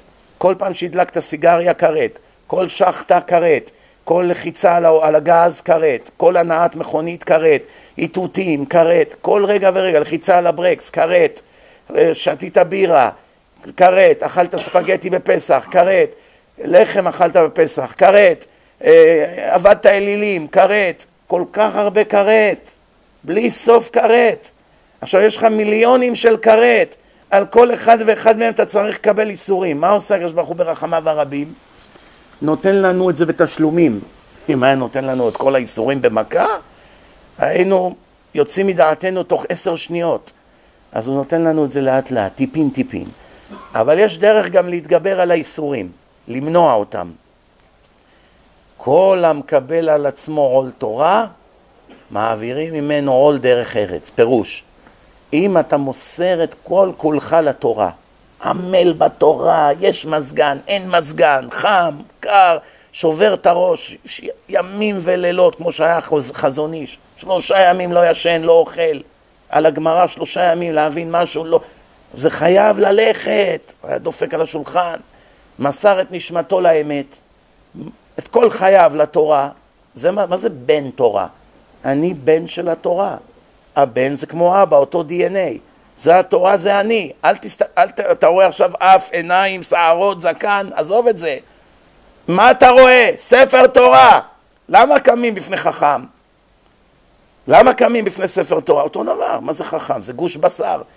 כמה הגוף של חכם שווה? שתי דולר במעבדה כימית. מה יש בגוף של חכם? מים, ברזל, מלחים, מינרלים. מה יש בגוף של חכם? שתי דולר. מה אתה מכבד את השתי דולר? אלא מישהו מכבד את הגוף עכשיו? מכבדים את החוכמה של התורה שעברה מפה לתוך הראש. לתוך הראש. שהחזון איש היה עומד בפני אישה בהיריון. למה? יש מלאך עכשיו מלמד את התינוק בבטן שלה את כל התורה. יש פה תלמיד חכם בתוך הקופסה. היה קם. לא כולם חושבים על זה ככה. יש לך עכשיו בחדר תלמיד חכם, יודע את כל התורה, מלאך לימד אותו. עכשיו עומד לידך, מטר לידך. אז מה, אם עכשיו היה הרב עובדיה מכסה את עצמו בשמיכה, לא היינו קמים? בגלל שהוא מכוסה בשמיכה? לא. אז מה זה משנה, מכוסה בשמיכה או מכוסה באור של הבטן? זה חכם, זה חכם. צריכים להבין, זה, אני עומד בשביל תינוק, בשביל אישה? לא. אני עומד בשביל החוכמה של התורה. לכן רבותיי, אני אומר לכם שוב, אם אתה חושב שהחיים שלך היו פיקניק, אתה טועה. אתה רוצה להתפטר מהאיסורים, תמיר את האיסורים באיסורים של לימוד תורה. שבור את הראש, תזיע, רש"י, תוספות, עוד פעם, עוד פעם בגמרא, עוד פעם מביא עוד ספר, הולך, מביא, יושב, הולך לאיזה רב לשאול, חוזר, עוד פעם לא הולך לי. ברגע, קם מוקדם בבוקר לתפילות, עושה חסדים לאנשים, מלמד חדשים שמגיעים לישיבה, לא אגואיסט, לא סוציומט, אכפת לך רק מעצמך. ברגע שהקדוש ברוך הוא רואה שאתה מביא על עצמך איסורים, איסורים של מצווה, הוא מוריד לך כנגד האיסורים האלה את האיסורים של המחלות וההפסדי ממון והבעיות שהיית צריך לקבל על כל השנים שחיללת שבת, על כל השנים שאכלת חמץ, על כל הדברים האלה. אז, אז, יוצא, אז משתלם. לפחות פה יוצא לך משהו מהאיסורים. סתם לקבל הפסדים ולקבל אגרופים וזה. אז מה יוצא לי מזה חוץ מחפרת עוונות? פה יוצא לי גם חפרת עוונות וגם אני גודל בתורה. כן. מצוין, סליחה, איפשהו בתורה על שכר ועונש כבר בעולם הזה? ודאי. אני אשמח לדעת, כי אני מכיר איזשהו... והיה אם שמוע תשמעו לכל מצוותיי, נכון? אומרים את זה כל יום בקריאת שמע. ומה בעצם ההתייחסות? ונתתי מתר ארצכם בעיתו, יורה ומלקוש, ואספת דגניך ותירושך. כבר יהיה לך בעולם הזה יתרונות. אז מה, במה מתכוון בעצם ודע מתן שכרם של צדיקים לעתיד לבוא? צדיקים, בדגש על צדיק, שאין לו שום הבטחה בעצם כן. אלא רק שם. לא, אז כתוב, אלה מצוות שהאדם, אשר יעשה אותם האדם, מה כתוב? אוכל מפירותיהם בעולם הזה, והקרן קיימת לו לעולם הבא. מה פירוש? יש לך עכשיו עץ, מה יותר חשוב, האפרסק שכתבת מהעץ או העץ עצמו? ברור שהעץ, כי העץ יניב כל שנה פירות. אז אומרים לך חז"ל, השכר האמיתי, העץ, זה מחכה לך בעולם הבא, הוא יניב לך לנצח פירות. לעת עתה נותנים לך רשות לקטוף קצת פירות לאכול בעולם הזה. הבנת? ואז אתה רואה לפעמים שהרבה פעמים אנשים, בזכות זה שהם נהיו צדיקים, אחרי שכבר עברו את האיסורים והתנקו והכול, הקדוש ברוך הוא נותן להם ברכה בחיים. אמר לי אתמול בכרמיאל, בחור בשם איב, הוא חזר בתשובה, אתה יודע, אני אספר לך עליו, אתה יודע איך הוא חזר בתשובה? מישהו נתן לו דיסק שלי והוא שמע אותו באיזה יום? ביום כיפור. תכלית החיים. ביום כיפור הוא ראה את הסרט שלי, קיבל... גר בחדרה, אני צריך לנסוע. מחילה, תודה, כל טוב, תודה. תודה שבאת. בקיצור, אז, אז היהודי הזה אומר לי, אתה לא מבין, הוא, הוא אומר לי, אתה לא מבין איזה רחוק אני הייתי. תאר לך שנתנו לי דיסק מרוב סקרנות, תכלית החיים. ראיתי אותו ביום כיפור, כולי רועד, כולי מזועזע. היום תראה אותו, איזה זקן כבר יש לו, איזה קנאה ובוערת בעצמותיו לאהבת השם. זה, אתה צריך לראות את הבן אדם הזה, איזה, איזה מסירות נפש לתורה וזה. אז הבן אדם הזה, הוא סיפר לי, שהוא אומר לי, אני הייתי סגן ראש העיר של עכו.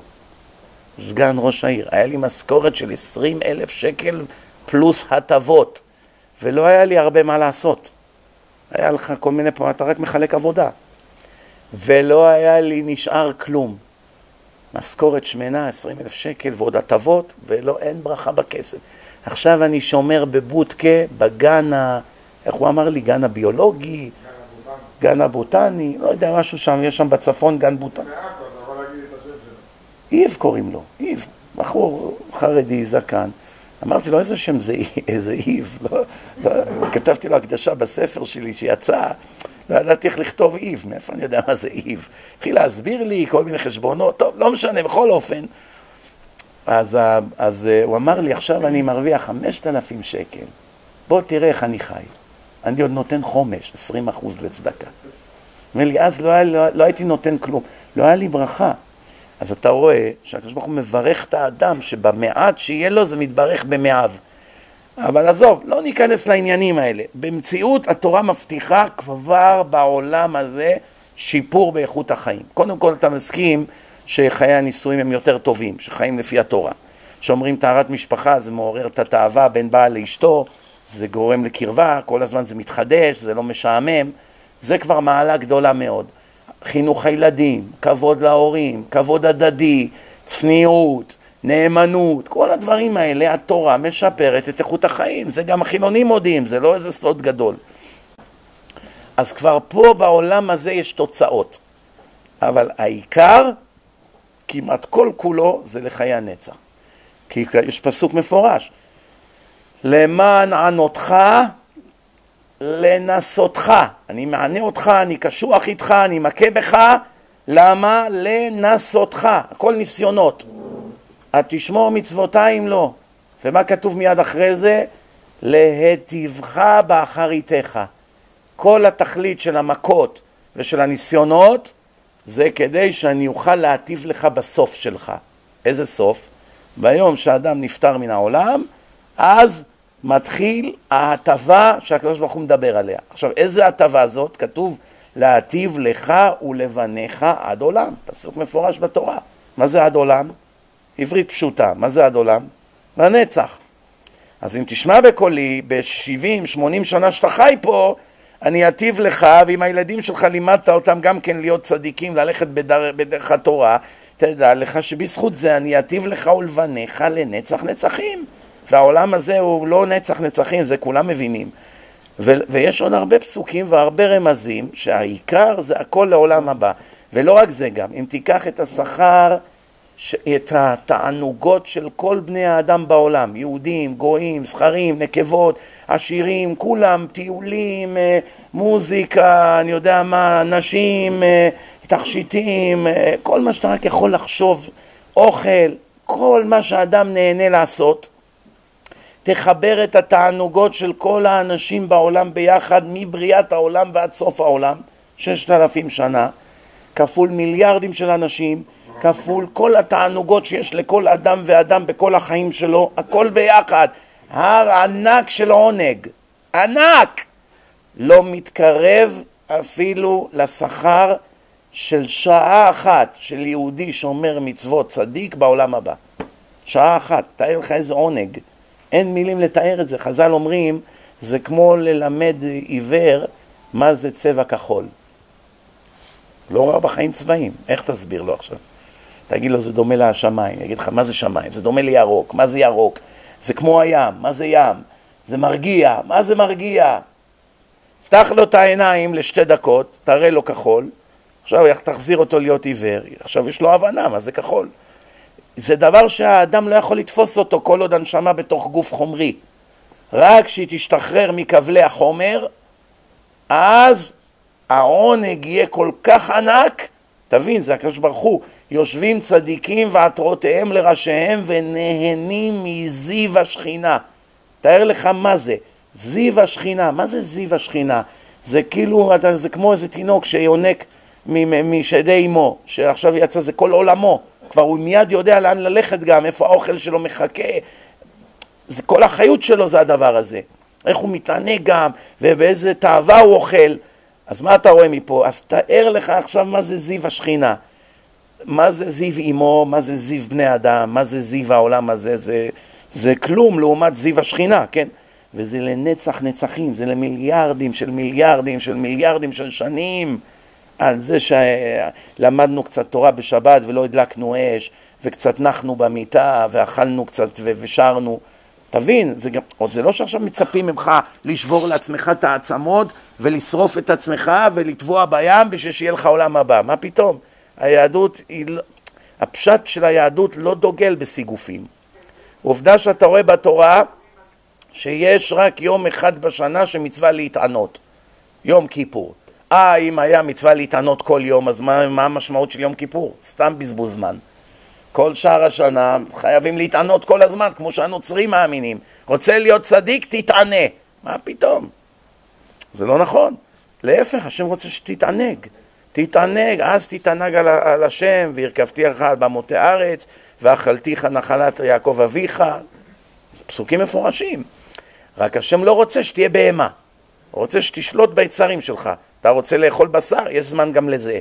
רוצה להתענג עם אשתך, יש את הזמן שמותר, יש זמן שאסור. רוצה ככה, כל דבר יש לו את הזמן שלו. ברגע שאתה מאבד שליטה, אתה נהיה כלב. כלב, מה שהוא רואה, הוא קופץ. קוף אותו דבר.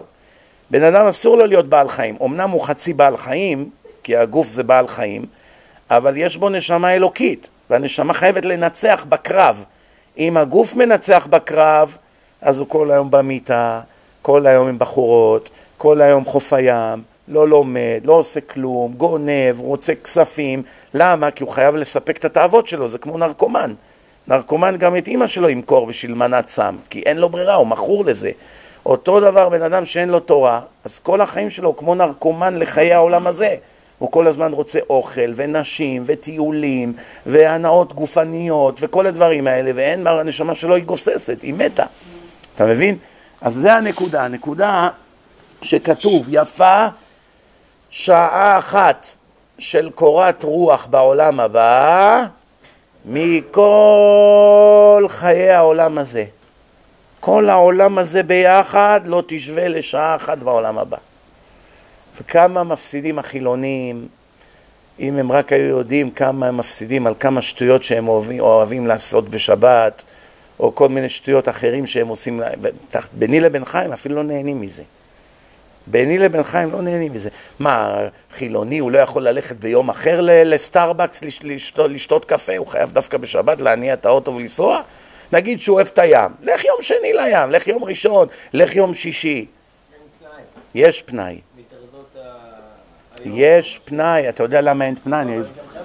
אני אישית לא שומר שבת, כן? הגיע הזמן להתעורר. כן, הגיע הזמן להתעורר דחוף. אבל אני יכול להגיד לך שלא כל שבת אצלי זה לול וים ושגעות. בלי קשר, לשמור שבת, לא לשמור שבת, אתה יודע, אנחנו... תגיד לי, אני אשאל אותך, אם אני נותן לך מיליון שקל על כל שבת שתשמור, תשמור? סביר להניח שזה די יפתה אותי, כן? כי זה משהו... אל תהיה לי אה, פילוסוף עכשיו. לא, כן או לא? תשמור או לא? מיליון שקל על השולחן. כן, כן. טוב מאוד, תהיה אמיתי. תהיה אמיתי, כן. אני גם הייתי, לא, אני, אם אחד היה אומר לי, אני אתן לך מיליון שקל וייתן לך עשר סטירות. הייתי אומר, תן גם מאה, תביא רק את המיליון. קח, הנה, בוא, תן, הנה צד שני, הנה, הנה, תן סטירות, תביא את המיליון. עזוב אותנו מההתחכמויות. או, עכשיו, עכשיו בוא נראה אם אתה איש אמת. אתה מאמין לי שכתוב בתורה שעל כל שבת שתשמור תקבל פי מיליארד יותר מהמיליון שקל האלה? אני מאמין לך שכתוב... אז למה אתה לא שומר? אתה מעדיף להפסיד 100 מיליארד דולר? גם כן, כמו שאתה אומר, ודווקא זה דווקא הביא לי יותר את ההשלכות של כאילו אתה אומר מקפידים עם אדם שכן חונך על ברכי התורה וכן גדל לזה, אבל אה, לא יודע, איך אתה יודע באמת כאילו את הקדוש ברוך הוא אתה חי במידות שלך, איך שאתה מרגיש אותו בתוך החיים שלך. ואני, השבת היא משהו שלא אמיתי לי. כרגע, אני אומר לך את האמת. מה שמך? אורן. אורן יוסף חיים. אורן יוסף חיים, אתה על הבן איש חי. אתה רק שלא תקפיד עליי כמו עם ההוא, עם ה... תגיד לי, אתה... תגיד לי, אני אשאל אותך שאלה, אורן היקר. אתה חושב שההוא קיבל את השבץ בגלל שאני הקפדתי עליו? אני מבטיח לך שגם אם הייתי מקפיד עליו מאה שנה רצוף, שערה לא הייתה נופלת לו מהראש. אני לא פקטור פה. הקדוש ברוך הוא מקפיד עליו כבר הרבה שנים. והוא עשה לו טובה והביא אותו אליי שלושה ימים לפני המכה שהוא עמד לתת לו. הבנת? ככה זה בחיים. עכשיו, יכול להיות מאוד, אני מקווה בשבילך שלא, שגם הקדוש ברוך הוא הביא אותך אליי הלילה.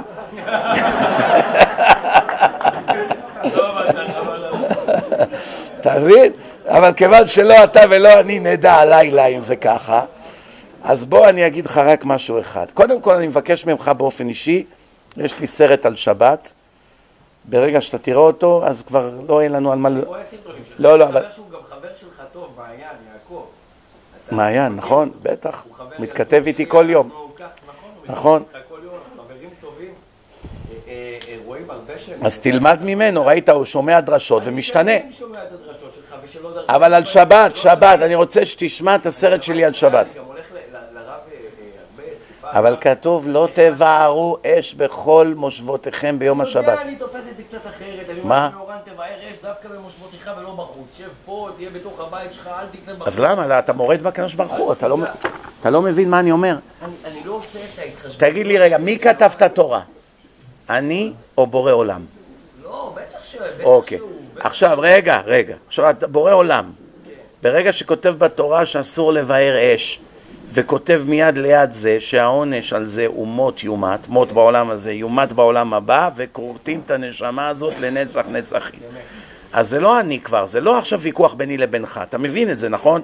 אני בכלל לא צד פה בתמונה, זה, אני קורא לך מה שכתוב, שאתה בעצמך היית צריך לקרוא. אבל אומר, אתה יודע מה, אתה יודע מה, יש לי אחלה רעיון. בוא נעלה על מגדלי ישראלי ונקפוץ וככה נשוט ב- בתל אביב, ואני, ההסתכלות שלי שאני אעוף כמו נשר. אני רואה את זה בדרך אחרת. אני אעשה ככה עם הידיים, ואני אעוף בתל אביב, ואני אראה את כל הפנטהאוסים פה של תל אביב, איזה גינות יפות, איזה מרפסות. אז אתה תגיד לי, רגע, רגע, כבוד הרב, אתה תתרסק לרסיסים. עזוב שטויות, אני מסתכל על זה מההסתכלות שלי, זה כיף ככה לעוף. נו, איזה תשובות אלה? אם? הייתי לא מסכן את עצמי וחושב שוואלה, אני אקח דאון ויעוף מעל עזריאלי, מסתכל על כל... כן, לא סיכנתי את עצמי, אני יודע מה... תגיד לי, את מי זה מעניין ההסתכלות שלך או שלי? רגע, רגע, רגע, רגע, רגע. את מי זה מעניין ההסתכלות שלך או שלי או שלו או שלו או שלה? רק אותו. לא, לא מעניין אותו ההסתכלות שלך. יש אמת, יש פקודות, יש מה צריכים לעשות, מה אסור לעשות, ויש שכר ועונש. ככה החיים בנויים, נכון? יש מצלמות פה בכל 100 מטר עכשיו במדינה. כשגדלנו פה בתור ילדים לא היה אפילו מצלמה אחת. היום כל 100 מטר יש מצלמה, לכן כולם מאיטים. איך, איך שאתה שומע את ה-GPS, מצלמה לפניך, 500 ברקסים נהיים אדומים לפניך. כולם פוחדים מהסתירה שהשלטונות ייתנו להם, 300 שקל, 500 שקל, 1,000 שקל, לכן. פה אני לא מדבר איתך עכשיו על 500 שקל, 1,000 שקל, ייקחו לך את הרישיון, זה הבל הבלים. אני עכשיו מדבר איתך על זה שאתה טוען, אני לא מסתכל, אני לא משוכנע, הכל, תגיד מה שאתה רוצה. תכלס, שורה סופית ותחתונה. אם חלילה אתה נפטר אם חלילה אתה נפטר מן העולם, מחלל שבת, הפסדת נצח נצחים בשביל איזה בייגלה שעשית, או איזה קפה שנסעת להביא, או נסעת לחוף הים, דברים שוודאי לא מצדיקים. ואני בתור אחד שאוהב אותך מאוד, ומאוד מאוד לוקח ללב שאני רואה אנשים שהולכים לאבדון, אני מאוד משתדל לעורר אותם לחשוב. אני מציע שאתה תראה את כל הסרט שלי, 40 דקות סך הכל, על שבת. תראה מה בורא עולם אמר על מחלל שבת, איך הם בעיניו, מה צריכים לעשות להם, ומה ההשלכות של מעשיהם, ואיך הם מחריבים את עולמו של הקדוש ברוך הוא ואת עם ישראל. אני מבטיח לך, כי אני רואה בעיניים שלך שאתה בן אדם זהב, ואני אומר לך שאחרי שאתה תראה את הסרט הזה, אתה לא תהיה מסוגל יותר לעולם לחלל שבת. אבל תראה אותו, תשים, הרב מזרחי שבת, בסדר? עם נדר, לא בלי נדר, עם נדר, לא. עם נדר, תגיד עם נדר, כן, אל תפחד, עם נדר. אוקיי, בסדר. כן.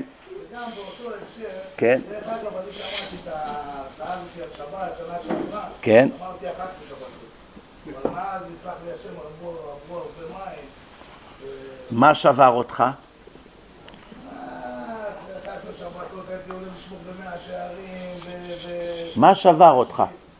אני מוצא שבת, אני רואה את כולם בפייסבוקים, וזה, ואני כמו טמבל מפצח גרעיני, זה היה לי מאוד קשה. אני בשבילי, שיסלח לי השם, שבת זה סיוט. תגיד לי, מה עדיף? לנוח, לפצח גרעינים, לקרוא ספר, לבוא לשיר קצת בבית הכנסת, לאכול חמין טוב ולזכות לנצח נצחים של עונג, או לשכב כמו דג בים, ככה, להישרף מהשמש. ואחרי זה להישרף חמשת אלפים שנה באושוויץ. מה עדיף? מה עדיף? תענה לי. אז למה נפלת בפח? הלאה, בוא נתקדם. נו, שמעתי, מכיר, נניח, אני כמו, בצער רב, אני אומר, כמו רוב ישראל, ואני יליד הארץ, יש לי כמה מיליוני קרטים. אני מכיר ונחלטה הנפש בישראל, וכל מה שמסביב. כן. אבל שאלה, קודם אמרנו, זה גם אמר רבי נחמן, וזה גם אמרנו קודם שהרבנים אמרו שהדור הזה, כל מעשה קטן הוא גדול למעלה. כן. רבי- נחמן אמר את זה לגבי נטילת ידיים, והרשב"י, לא זוכר מי שאמרת קודם, כאילו זה ידוע, זה דבר ידוע. עכשיו השאלה שלי היא אחרת. נניח אני יש לי כמה מיליוני כזה, אני שומע? כן? אבל אומרים אות היא ביני וביניכם. כן. עכשיו, יש עוד אותו, גם ברית זה עוד, גם תפילין זה עוד. עכשיו, השאלה שלי כאילו... תפילין, אתה לא נחרט מעם ישראל. תפילין, על תפילין לא כתוב שאתה נחרט מעם ישראל. על שבת כתוב. נכון, לא, אבל בסדר, אבל התורה אמרה, על האות של שבת, הרי הוא כגוי לכל דבר. הבנת? אז אפילו רוצח לא נאמר עליו שהוא גוי. רוצח, הולך הורג אנשים. נו. בסדר, לא זכיתי חס הרי הוא כגוי, כגוי. לא שהוא פטור ממצוות. גוי, לחומרה, לא לקולה, עכשיו להגיד לו יאללה תעשה מה שבא לך. כאילו. אוכל אותה משני הכיוונים. הוא מאבד את, כל הפריבילגיות שיש ליהודי. אבל גם גוי יש לו חסדים. גוי זה חיים. כן, אבל, היהודי נשפט, גוי נשפט כגוי, לכן יש לו צ'אנס. יהודי הוא נשפט כיהודי, לא כגוי. הבנת? אז עכשיו יהודי מאבד את הפריבילגיות שלו. ברגע שהוא מחלל שבת, דנים אותו כגוי. שהוא בא עכשיו, מסתכלים עליו כאילו הוא גוי. זה לא אומר שהוא נפטר משמירת שבת והוא חייב עדיין לשמור את המצוות והוא ייענש על כל עבירה. רק בעיני הציבור צריכים לדון אותו כגוי. אפילו כשהוא נפטר אסור לקבור אותו בבית קברות יהודי. קוברים אותו מעבר לגדר עם המחללי שבת. זה הדין. אם הוא... פה בארץ לנהוג ככה, כאילו, בתכלס. בארץ יש שני סוגי בתי קברות. יש בית קברות חרדיים פרטיים, שם קוברים רק שומרי שבת, אין כזה דבר להכניס מחלל שבת שיסתנן, ויש בתי קברות אזרחיים בבעלות הממשלה, הממשלה הקצתה שטח, הממשלה היא לא בדיוק ממשלת הסנהדרין, לא כל כך מעניין אותם שבתות וזה, אז שם קוברים את כולם, מצידם לקבור גם דרוזים וערבים ורוסים גויים, תביא את כולם לשם, אין להם בעיה. עזוב עכשיו מה הם עושים, אני אומר לך מה ההלכה אומרת, זהו. גם דרך אגב לא מביאים ראייה מהמציאות להלכה, כי הרבה פעמים אתה בא לבית כנסת ועוברים שם על ההלכה, עוברים, נותנים עליות למחללי שבת, זה נגד הדין. אם תבוא אצל החסידים אין כזה דבר, לא תהיה בבית כנסת של חסידים. תביא אותו, תן לו פתיחת ההיכל, תן לו הוצאת ספר תורה, תיתן לו עלייה בטור מוסיף. אבל הוא לא יכול להיות אחד מהשבעה עולים. חייב שיהיה שבעה עולים שומרי שבת, כדי לצאת לידי חובה. תיתן לו בטור, תוסיף, תוסיף, יש כמו שיש בר מצווה, מביאים את המשפחה של הילד של הבר מצווה, כולם מחללי שבת, באו באוטו. רוצים לכבד אותם, נותנים להם עוד עלייה, אבל אי אפשר לכלול אותם בתור מניין, או אי אפשר לכלול אותם בתור שבעת עולים, כי דינם כגויים גמורים. הבנת? כן. בקפה מדרש בפתח תקווה עליתי חזן, אמרתי להם, חבר'ה, אני לא שומר שבת, אז הם בורים ועמי ארצות שם, אסור, אסור, אסור להם היה לתת לך להיות חזן, אסור להם. חזן זה זה שמעלה את התפילה של האנשים בתור סנגוריה, לא אחד שמכעיס את הקדוש ברוך הוא. אתה שומע? עכשיו, רגע, תסיים את השאלה, תסיים. אני בגדול כמעט סיימתי. נו. אז תסיים גם בקטן, נו. שאלה, באמת, זה משהו פה מאוד חזק. אני לא חשבתי על זה, כן. עכשיו השאלה, מה קורה? הרי ידוע לי שגוי המצב שלו יותר טוב מחילוני. הוא מחויב בשבע ואנחנו שש מאות. נכון. נכון. אוקיי. כן? השאלה היא, עכשיו, אם בן אדם חילוני, נניח אני, אני לא חוני על עם ישראל, כן? לא זוכה אה, למות שומר שבת. אוקיי? כן. עכשיו, במהלך החיים שלו, הניח יום יום תפילין, עשה קצת חסדים. עכשיו, זה די דומה מצד אחד להוא שאמרת שהוא נכד שלא יודע מי, כן. וכאלה, וזה כאילו יותר מכעיס. אבל אני חושב שזה לא נכון. אתה אומר שהוא מאש ואנחנו מעפר. עכשיו, זה לא בגלל שבן אדם הוא אפיקור, לדוגמה, אני, אני בתוך תוכי, אני לא כופר ב... לא כופר ב... אתה עושה עבירות של... אתה חוטא לתיאבון, לתיאבון זה נקרא. קשה, תאוות של העולם. תאוות, הכל תאוות החומר. תאוות, והוא מתגבר עליי, מה לעשות? כן. מה, אני אהיה איש אמת, מאש ואני מעפר, לא מצליח, סתם דוגמה. אבל, כאילו, במהות, אני אומר, הבן אדם במהות שלו, הוא בן אדם מאמין בבורא, חי אותו, אה, עושה פה מצוות, שם חסדים, מניח תפילין. שומר לא חגים. אפיקורס כללי, לא הולך להתפלל לבודה, או לאיזה פסל, או ליושקי, או לא משנה למי. אוקיי, עכשיו, השאלה, הוא מגיע לבית דין של מעלה. כן, יש עניין של שכר מצווה, מצווה, שכר עבירה, עבירה, כן. או ש"ונכרתה הנפש ותלך לעזאזל". כאילו, מה? עכשיו, תראה. אה, תראה, תראה, אה, כן, תראה. תראה. לא. שאלת שאלה טובה וגם שאלה לא פשוטה. כן, כי... אני, אני, תראה, אני, אני לא הקדוש ברוך הוא, אני לא הקדוש ברוך הוא, אבל אני אגיד לך מה כתוב, אוקיי? קודם כל תראה, תראה, עד איזו תקופה מסוימת בחיי האדם, הקדוש ברוך הוא מחכה לו עדיין שיחזור בתשובה מלאה, כדי שיזכה לחיי העולם הבא. ביום שהקדוש ברוך הוא מחק את האדם הזה, כמו שהרמב"ם כותב שהעונש הקשה ביותר לאדם היא, הוא שסוגרים בפניו את דלתות התשובה, כמו שהיה עם פרעה, היה לו כמה צ'אנסים והשם מחק אותו. יש איזו נקודה בחיי החילוני או בחיי המחלל שבת, שהקדוש ברוך הוא מחליט עד כאן. חיכיתי לך עד גיל 20, עד גיל 30, עד גיל 50, כל אחד לפי התיקון שלו. מכאן והלאה אתה מחוק. אז עכשיו יש לו עדיין תפילין, יש לו צדקה, אכל כשר, שמר כמה שבתות, 11 שבתות שמר, גם בעבר כמה שבתות. גם בעבר, ש- 13, 15 שבתות, בסדר. כן. אז מה הקדוש ברוך הוא עושה? אומר, כיוון שאני חייב לו כך וכך מצוות שהוא עשה בחייו, ועולם הבא אין לו, אז עכשיו מגיל, נגיד 50 עד גיל 80, משלם לו את כל המצוות שלו בעולם הזה. זה כתוב בסוף פרשת ואתחנן, אני אצטט לך מה כתוב. אני אלקנה משלם לרשע אל פניו להעבידו, לא האחר לשלם לו, אל פניו אשלם לו להעבידו. זאת אומרת, ברגע שאני כבר החלטתי שאני מעביד אותו מחיי העולם הבא, בעולם הזה אני משלם לו. הנחת מאה פעמים תפילין, יש על זה שכר בעולם הזה. בניין פה, בית שם, אישה יפה, ילדים, ניצלת מסרטן, היית כבר חצי מת, ניצלת מתאונה, קיבלת אוטו חדש. החילונים יש להם הרבה צעצועים בחיים. הצעצועים האלה יש להם מחיר. הם... רגע, רגע, הם, הם לא באים בחינם. חילוני שגר פה באפקה או ברמת השרון, בבית של שלושה מיליון דולר, או בהרצליה פיתוח, והוא שט ביאכטה, הוא לא מקבל את הצעצועים האלה בגלל העיניים היפות שלו. כי אתה רואה שיש חילוני בדיוק 100 מטר ממנו ואין לו מה לאכול. זה שקיבל את כל הצעצועים האלה, זה כרגע משלם לו אל פניו לעבידו. להפך, שרואים חילוני מחלל שבת שהולך לו בחיים, הוא המסכן הכי גדול בכדור הארץ. כל עוד עוד רואים חילונים שחוטפים פצצות מהשם, בעיות, זרקו אותם מהבית, אין להם איפה לגור, חזרו לאימא, כל מיני צרות, יודעים השם עוד לא מחק אותם, כי בינתיים הם עוד לא קיבלו את שכרם על הטוב שהם עשו בעולם. לכן, ברגע שאתה רואה את כל הרשעים האלה ששולטים פה בממשלה ובכל מיני מוסדות ובעיתונים ובטלוויזיה חוגגים, גורפים מיליונים, טסים בפרסט קלאס, כל הדברים האלה, בחורות, כל מה שהם חולמים, קונים קבוצות כדורגל, כל הדברים האלה, ואתה אומר, מה, ריבונו של עולם, מה איתי? אני אין לי כלום כמו שהם. מצבך הרבה יותר טוב מהם, כי אותך השם עדיין לא מחק, עוד מחכה.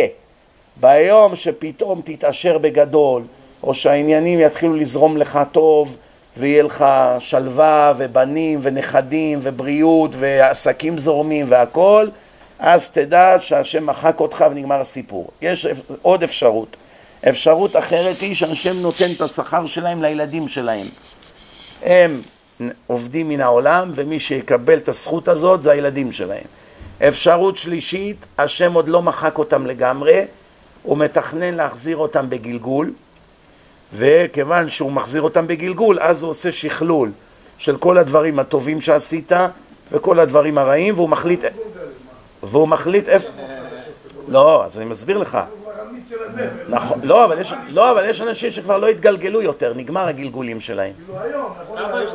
מי שעדיין פה, תחשוב, אתה עכשיו פה, זה סימן שהשם עוד לא מחק אותך סופית.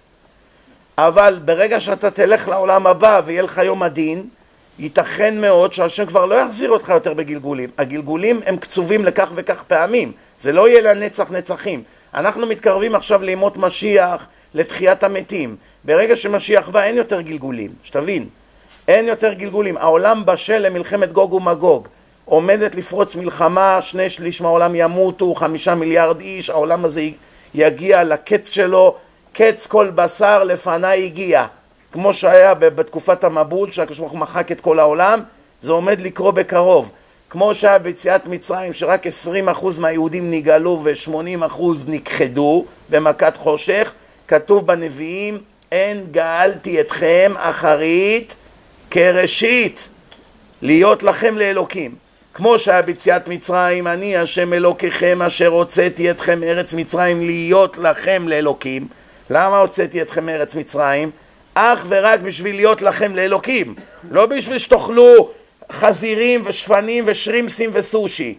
לא בשביל זה הוצאתי אתכם. השאלה היא כזאת, שזה לא בן אדם שהוא הפיתוח. סתם דוגמה. אדרבה, זה יותר חמור.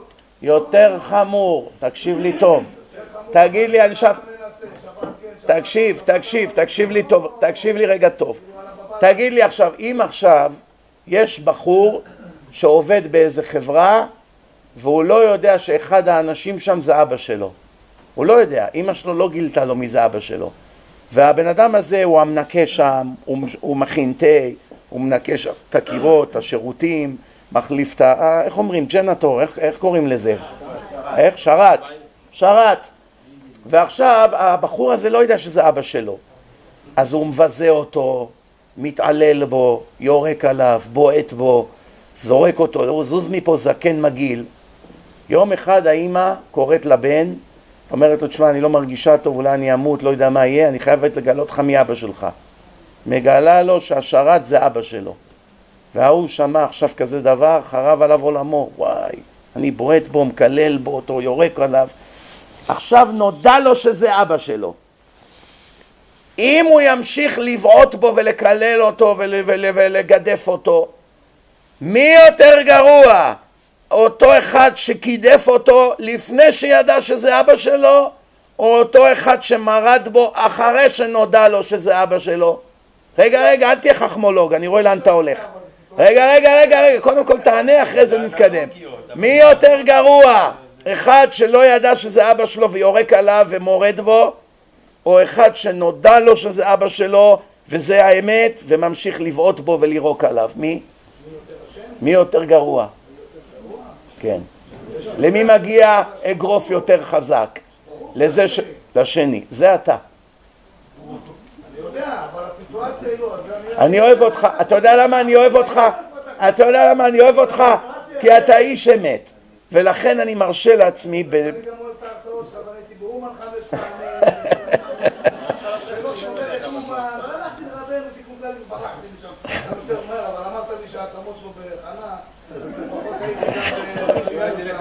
בסדר. תכלס, תכלס, תשמע טוב, יש בך נקודת אמת, אתה לא עכשיו בלופר, מסלף, מוצא תירוצים, ולכן אני אוהב אותך ואני רוצה לזעזע אותך קצת, ואני אומר ממש חבל. תשמע, תתחיל להתחזק יותר בלימוד תורה, ותלך קצת להתארח בשבתות בישיבות. לאט לאט תחזור להיות שומר שבת. הייתי במאה שערים, היית, עכשיו אני מדבר, עכשיו. גם אני פעם לקחתי, גם אני פעם לקחתי אנטיביוטיקה, אבל עכשיו אני צריך עוד פעם. עשיתי גדרות שם של לשמור, אבל עכשיו הסיטואציה שונה. אבל-. לא, לא, אדרבה, אדרבה, אדרבה, תציל גם את הילדים שלך, תציל אותם. חס ושלום, אתה והוא, אנשים כמותכם שיודעים את האמת, לא מתכחשים לבורא, יודעים יש מוסר, יש דין ויש דיין, וממשיכים לעשות עבירות, זה במזיד, זה לא שוגג. זה לא איזה מסכן חילוני מהקיבוץ שבחיים שלו לא שמע דרשה, או בחיים שלו לא למד חומש. חילונים. אני יודע, אני יודע, כמעט ואין, חי- כמעט ואין תינוקות שנשבו, אבל בכל זאת בוא נגיד שיש איזה קיבוצניק שבאמת שטפו לו את המוח וגידלו אותו כגוי והוא... אז אחד כמוהו, אז אחד כמוהו לפחות אפשר להבין ולהתחשב בו בשמיים. אבל אתם, גם ראינו את חולאי החברה הדתית, יודע, ויש בחולאים מפה, השם. מה זה לא נוגע רוצה להשם? רגע, מה. זה נוגע לקדוש ברוך הוא? נוגע לקדוש ברוך הוא, כי אם האנשים שמאמינים בו והולכים בדר- בדרכיו, מביאים את כל האלימות הזאת, וה- והפריצות, וה- וה- והמעשה סדום שם, ולא יודע מה הולך שם, אז מן הסתם... מש- כמה פעמים כתוב בתנ"ך שהקדוש ברוך הוא קרקף אלפי דתיים? אתה רוצה המון שאני... פעמים. או, אז עכשיו אתה רואה שאצל הקדוש ברוך הוא אין הבדל דתיים חילונים, יש צדיקים, יש רשעים. תוארים כאלה, אני דתי, אני חילוני, אני מזרחניק, אני... זה הכל... ש- בדיוק מה שאני ש- אומר. זה... אוקיי, אז עכשיו, אז עכשיו, זה, כמו שאתה רואה עכשיו חילוני שהלך ואנס וזה מגעיל אותך, ואתה רואה דתי שהנח ואנס זה מגעיל אותך, אתה לא לומד מהחילוני לאנוס, אל תלמד מהדתי לאנוס. הדתי הזה הוא חלאת המין האנושי. ואם הדתי הזה גנב, אז הוא חלאה, ואם הוא מחלל שבת בסתר, אז הוא חלאה. אבל באף מקום בתורה שאני מכיר, לא כתוב שאני צריך ללמוד מדתיים איך להיות. זה לא לא כתוב. קשור, אבל אם אתה רוצה לחיות כדתי, אם אתה רוצה לחיות כדתי דתי באמת, כן. באמת, ככה בינינו, תכלס, כן. אתה צריך גם בשביל שהילדים שלך לא יגדלו בחברה טמאה, וכל היום יבואו עם שאלות למה היא מיני ולמה עם זה, לחיות בחברה חרדית. החברה החרדית כמרקחה היא בעייתית. היא בעייתית, הכל שם זה כמו גטו, אתה לא מוציא כלום החוצה. בן אדם ידעו, הוא רוצח, יגידו, או, בעוונותיו הרבים, מסכן, עבר לו שגת בראש, אל תדברו, השם יסלח לו. הוא צדיק גדול, בואו נעביר לו. קודם כל זה, שמה זה ככה. לא, קודם כל זה, קודם כל זה לא נכון, היום יש לך, לא היום. יש לך אתרי- אתרים חרדים, תוך נכון, שנייה מפרסמים הכל. ברוך השם, היום יש יותר. אני רוצה להגיד לך. שעדיין בבתי ספר הדתיים יש הרבה יותר אלימות מכל העולם ביחד. מי אמר לך את השטויות אני האלה? אומר לך את זה גם מחברים שלי חרדים. לא, לא, לא. לא, לא, לא. אין ילד בבית ספר חרדי שלא חוטף כאפה באור. מה אתה מדבר? הילד- הילדים שלי בב... עזוב, הילדים שלי, רגע, רגע, רגע, רגע. הילדים שלי בישיבה במשך 12 שנה שלמדו לא הייתה תקרית אחת של מכות שם בישיבה, כלום. מהמורים? לא, מהתלמידים, הילדים. מהתלמידים, אין מכות. אין סיגריות, אין סמים, אין זנות, כמעט לאף אחד אין אינטרנט. מבחינת המחנכים, היא- היא- היא- היא- אין שני לה, זה לא קיים יותר בחברה העולמית. כן. לא מחנכים דרך אלימות. כן, קודם כל. היום כבר אין אלימות בגלל שהם מתלוננים למשטרה ו... יש עוד בפתח תקווה גם כן, ויש בתל אביב. תשמע, לא- אתה רוצה לחפש תירוצים או שאתה רוצה ל- לקיים... אמת. תקשיב לי טוב, אתה רוצה לקיים מה שכתוב בתורה או שאתה רוצה לתלות בזה שחלק מהחרדים עושים דברים שאסור לעשות? אני רוצה להיות תמים עם השם אלוקיי, שידע שבכל רגע שאני גומל לו חסדים ומאדיר שמו פה, שיעריך, שיעריך את מה שאני עובר בשביל לעשות את זה. אני יודע שתמיד אני יכול לעשות יותר, תמיד אני יכול לעשות יותר, והלוואי ואני אעשה יותר, אבל בלב שלם נקי וטהור. חבר'ה. אתה יודע איך אמרת על דוד? דוד לא יכול להגיד ככה כזה דבר ואנשים יגידו לו יאללה יא חרטטן אתה אומר את זה בשביל שיחשבו שאתה נחמד חבר'ה, חבר'ה, כזה, באמת. אתה לא יכול ללכת ברחוב להגיד שבת, שבת, אני שומר שבת, אבל בתוכך להגיד, יואו, הייתי מת להיות כמו ההוא עכשיו, לשבת, לראות סרט. אם אתה עושה את זה, אורסול עד הסוף, אוהב, מחבק, עושה את זה בשמחה. יכול להיות שתבוא לי עוד הערה, וזה יכול לקרות, יכול להיות שגם לא. אבל לפחות תדע שביום שיקחו אותך מן העולם, תעמוד למשפט שלך גאה. תגיד לקדוש ברוך הוא, פה הייתי האדם, עשיתי מה יכולתי בשביל להגדיל את השם שלך פה. חינכתי את הבת שלי לצניעות בהיותה חילונית, אה, רבתי עם אנשים שקיללו אותך, מי שדיבר לשון הרע ברחתי ממנו. תסתכל, עשיתי. וואלה, את השבת לא שמעתי. לא. היה לי יותר כיף לראות סרט עם הילדה שלי בשבת. רגע, רגע, רגע. תשמע, תשמע, תראה, קודם כל זה שיש בעולם החרדי תחלואים, זה נכון. זה שבעולם החרדי אין שלמות, זה נכון. זה שיש חרדים שהם אפילו יותר גרועים מחילונים, גם זה נכון. זה שחייבים לשמור תורה ומצוות בלי קשר לעולם בכלל, מה עושים אחרים, גם זה נכון. ככה השם אמר. השם לא אמר לך להיות כמו החרדי ההוא או כמו החרדי הזה. אתה צריך לשמור שבת, אתה צריך להיות, אתה צריך להיות מורה שלא מרביץ לילדים, אתה צריך להיות אבא לא אלים, אתה צריך להיות אדם צנוע, אתה צריך לאכול כשר, אתה צריך לעשות את מה שהתורה ציוותה. זה שיש כאלה עם כיפה על הראש שלא עושים מה שהתורה ציוותה, ידונו אותם בבית דין של מעלה וכל אחד יקבל לפי מה שמגיע לו. תשמע, מתירוצים לא מתקדמים. יש אמת של בורא עולם. שם לא כתוב לשמור כמו פלוני או כמו אלמוני. ושם כתוב חד משמעית שמי שמחלל שבת אין לו עולם הבא. אין לו, זהו. אין לו בכלל עולם הבא. אין כזה דבר, כל ישראל יש להם חלק לעולם הבא. אין כזה דבר. אבל אתה לא אפיקורס, אתה אדם ששומר חגים, מסורת, שבת, גם. ברית. מה שאתה אמרת זה הונאה, הונאה ידועה, שמי שאשם בה זה חלק מהרבנים. לא, אני אגיד לך מה כתוב, תכף תראה איך טעית. כל ישראל יש להם חלק לעולם הבא, שנאמר, ועמך כולם צדיקים, לעולם ירשו ארץ, נצר מטעי, מעשה ידיי להתפאר. ומה ההמשך? רגע, ומה ההמשך? את ההמשך אתה לא יודע. אתה יודע למה אתה לא יודע את ההמשך? אתה יודע...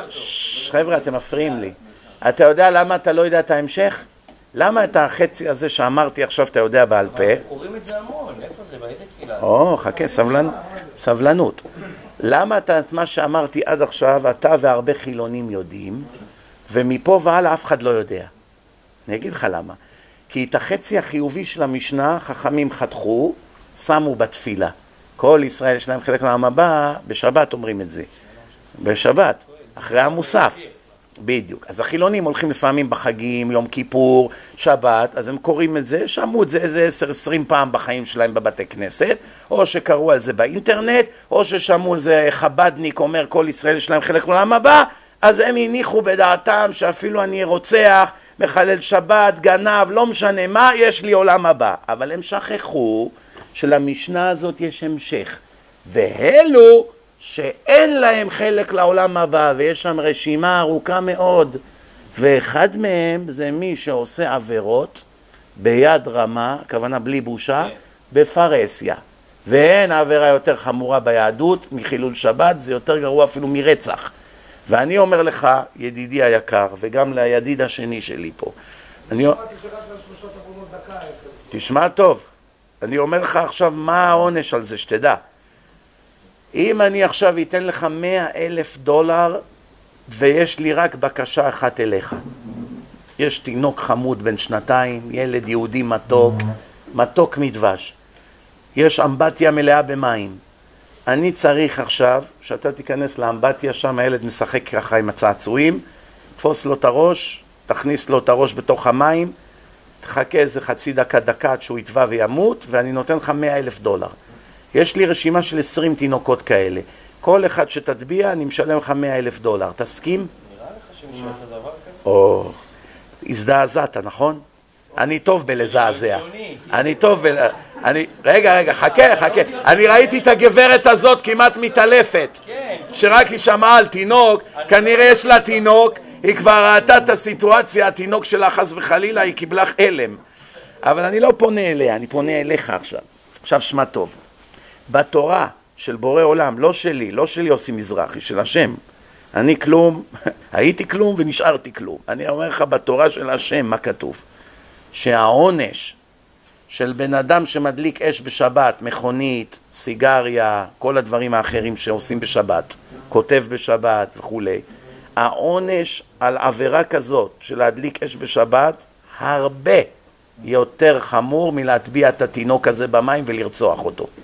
כבוד הרב, משטר... רגע, רגע, רגע, איך אתה מסוגל לדבר כל כך מהר? רגע, תעכל מה שאמרתי. רצתי מה שאתה אומר, אני אגיד לך למה. רצתי מה שאתה אומר, ואני אומר, משתמה...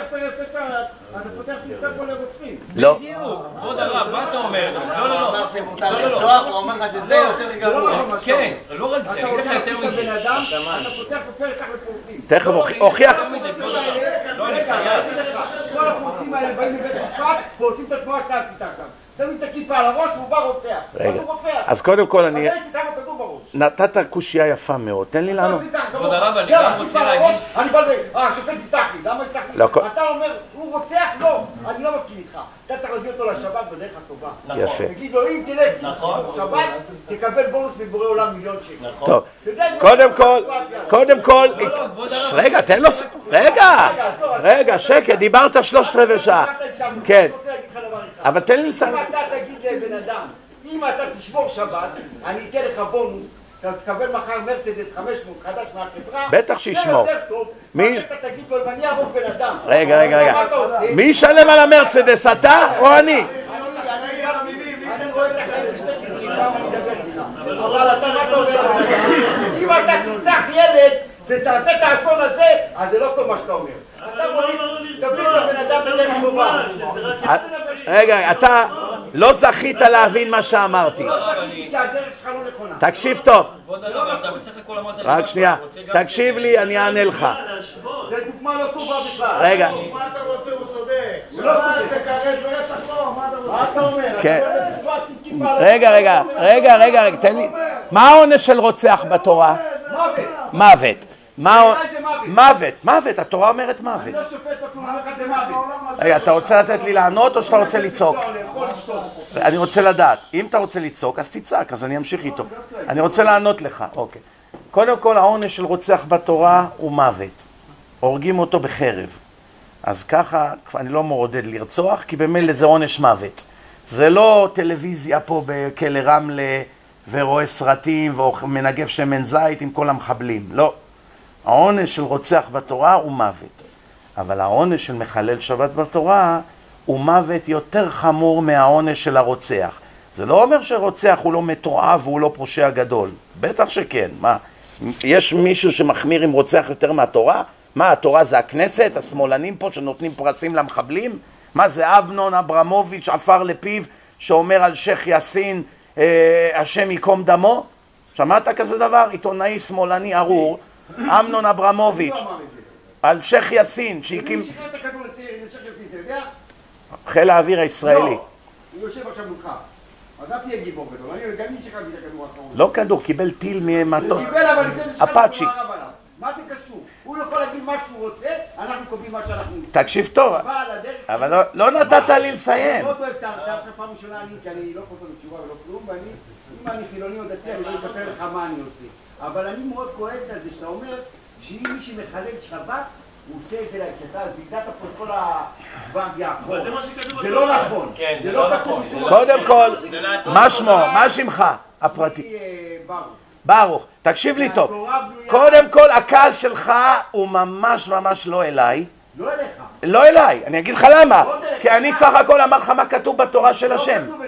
זה. בטח שכן. לא כתוב ככה. מה העונש של מחלל שבת בתורה? עונש חמור, לא יודע כמה. מה הוא? ונחרטה הנפש אז אם אתה לא יודע, איך אתה אומר לא כתוב בתורה? אבל הסיטואציה הזאת שאמרת, אם תיקח עכשיו היא הביאה איזה אימא אחת, הביאה את הבן שלה, היא הולכת לקבל מאסר עולם. אני חושב, אני חושב על הקטע הזה שהיא הביאה את הבן שלה, אני שם לה שתי כדורים בראש לכיכר המדינה. קודם כל, יכול להיות שהיא לא שפויה בדעתה, אבל חכה רגע שנייה. רגע, רגע, ששש. חבר'ה, השיעור נהרס, חבל. תן לי רק לפחות לענות על מה שנשאר פתוח. אני לא אומר מדעתי כלום, אתה צריך להבין. זה לא עכשיו דיון פוליטי, אז אתה יכול לצעוק עליי, כי זה דעתי האישית. אנחנו מדברים מה כתוב בתורה, והעונש בתורה למחלל שבת הוא סקילה וכרת. והעונש של רוצח הוא הוצאה להורג בסייף. וכל הסנקציות שהתורה נוקטת נגד מחלל שבת, היא לא נוקטת את הסנקציות האלה נגד רוצח.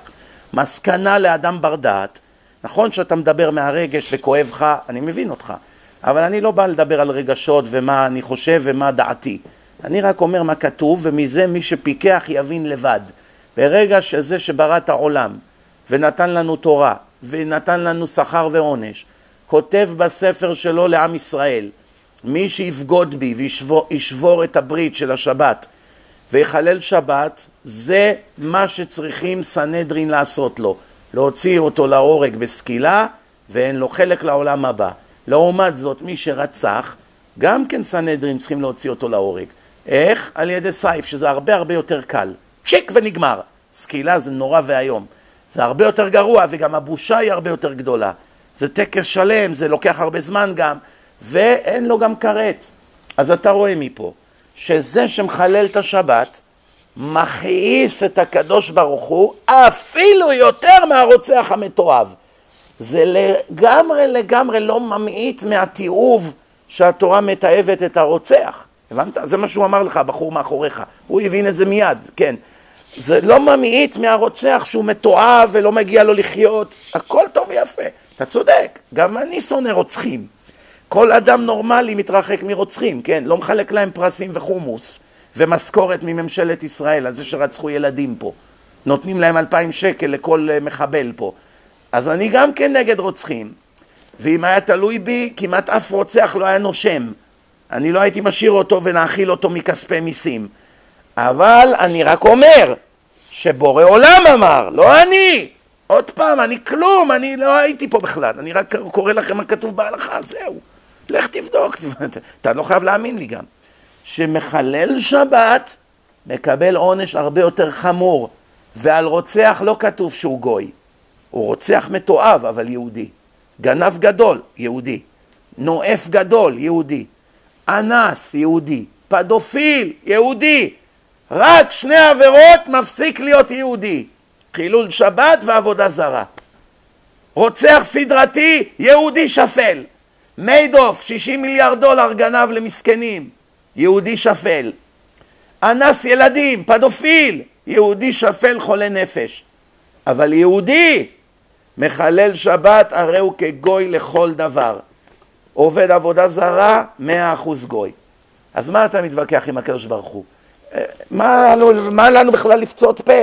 אני אומר ליהודי היקר הזה ולשני שעכשיו יצא להירגע בחוץ, אני אומר לכם, זה לא אני קובע את החוקים ואני, אף אחד לא התייעץ איתי בבית דין של מעלה מה מגיע לרוצח ומה מגיע למחלל שבת. אם אתה ואני היינו יושבים בוועדה, כנראה שהיינו נותנים לרוצח עונש הרבה יותר גרוע ממחלל שבת. אבל לא אתה ולא אני יושבים בוועדה ולא התייעצו איתנו שנתנו תורה ולכן אין לנו מה לדבר בכלל. ככה השם אמר וזו האמת וככה דנים בשמיים. You like it? Good. You hate it? It's your problem. זהו זה. כבוד הרב, אני חייב, בגלל שאני רוצה לתקן מידות וכאלה, אני חייב להבין רק מהדבר שלך משהו אחד מאוד ברור. אני אה, נוהג, ברוך השם, להתפלל מנחה הרבה זמן, אה, שומר בשר חלב כל חיי. אה, נתפס בעיני החברה שלי, אני גם גם עם המשפחה, במשותף כזה, כן. עם אשתי והמשפחה. כן. כאדם צבוע כזה, שאומרים לי, תשמע ידידי, אתה כל היום הולך, מתפלל, שומע שיעורי תורה, שומר חגים, שגע לנו את השכל עם כשרות. כן. אתה לא שומר שבת, ואתה לא דתי. אז אתה כרגע אומר לי, תשמע אורן, תוריד את כל מה שאתה עושה, אל תפלל, אל תלך, אל תעשה כלום, אתה יותר גרוע מעשר רוצחים. שנייה, סליחה. אתה יותר גרוע מעשרה רוצחים. אתה לא שומר שבת, אל תעשה שום דבר. אתה גם ככה נפש גמורה, וככה אני הולך לחיות. אני אומר לך את האמת, אני יוצא מפה היום, שמעת- אני לא שומר שמע- כלום, עד שאני לא שומר שבת. אתה יודע למה אתה דומה? זה באחריותך. עכשיו אני- אתה הותרת לי כיום ללכת לחיות איך שאני רוצה, עד שאני שומר שבת. כן, כן. עכשיו תן לי לענות לך. יש לי בשבילך, יש לי בשבילך טיל, טיל, דוגרי. יש לי בשבילך טיל שהולך לרסק אותך עכשיו, רק תשמע טוב. תן לי רק לדבר שתי דקות, אל תפריע. מעשה שהיה, יש רב אחד בסינסנטי, הוא נפטר לפני כמה שנים, קראו לו הרב סילבר. הוא היה לו רב ש...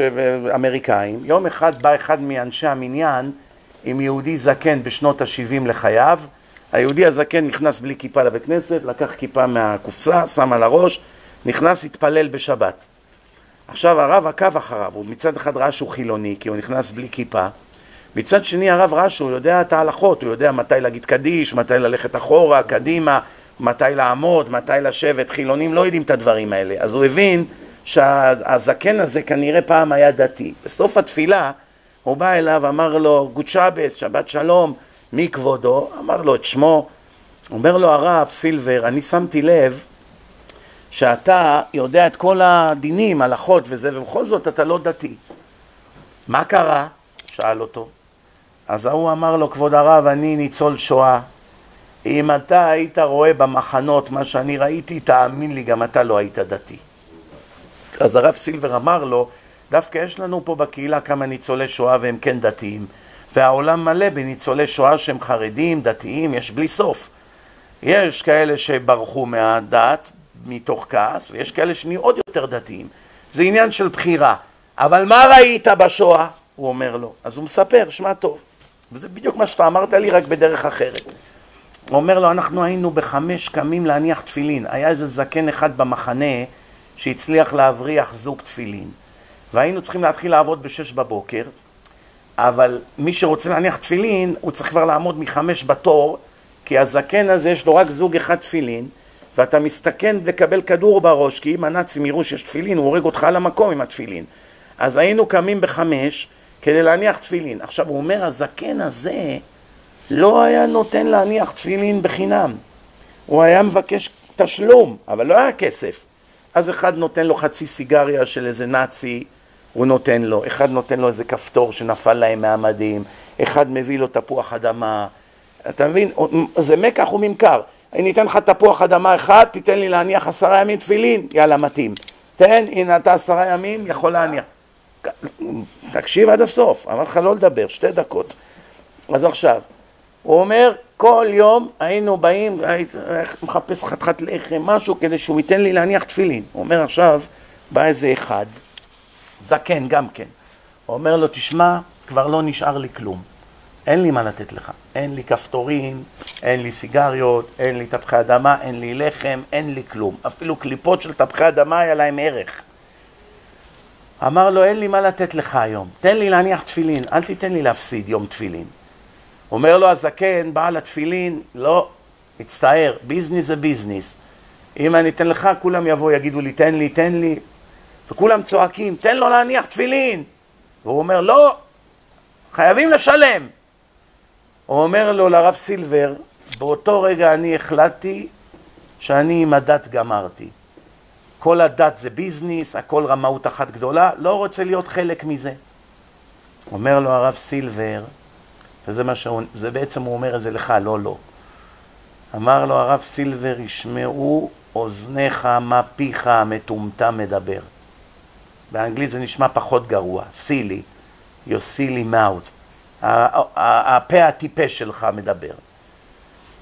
אתה עכשיו העדת שבאו עשרות של יהודים במצב נואש, במחנות השמדה, בגטאות, במקומות של גיהנום עלי אדמות, שהיה להם את כל הסיבה שבעולם לכעוס על הקדוש ברוך הוא, ולמרוד ולפרוק הכל, והם מוסרים נפש ומסתכנים לקבל כדור בראש, כדי להניח תפילין ואת הקצת לחם או תפוח אדמה האחרון שיש להם לשרוד הם נותנים בשביל לא להפסיד מצוות תפילין.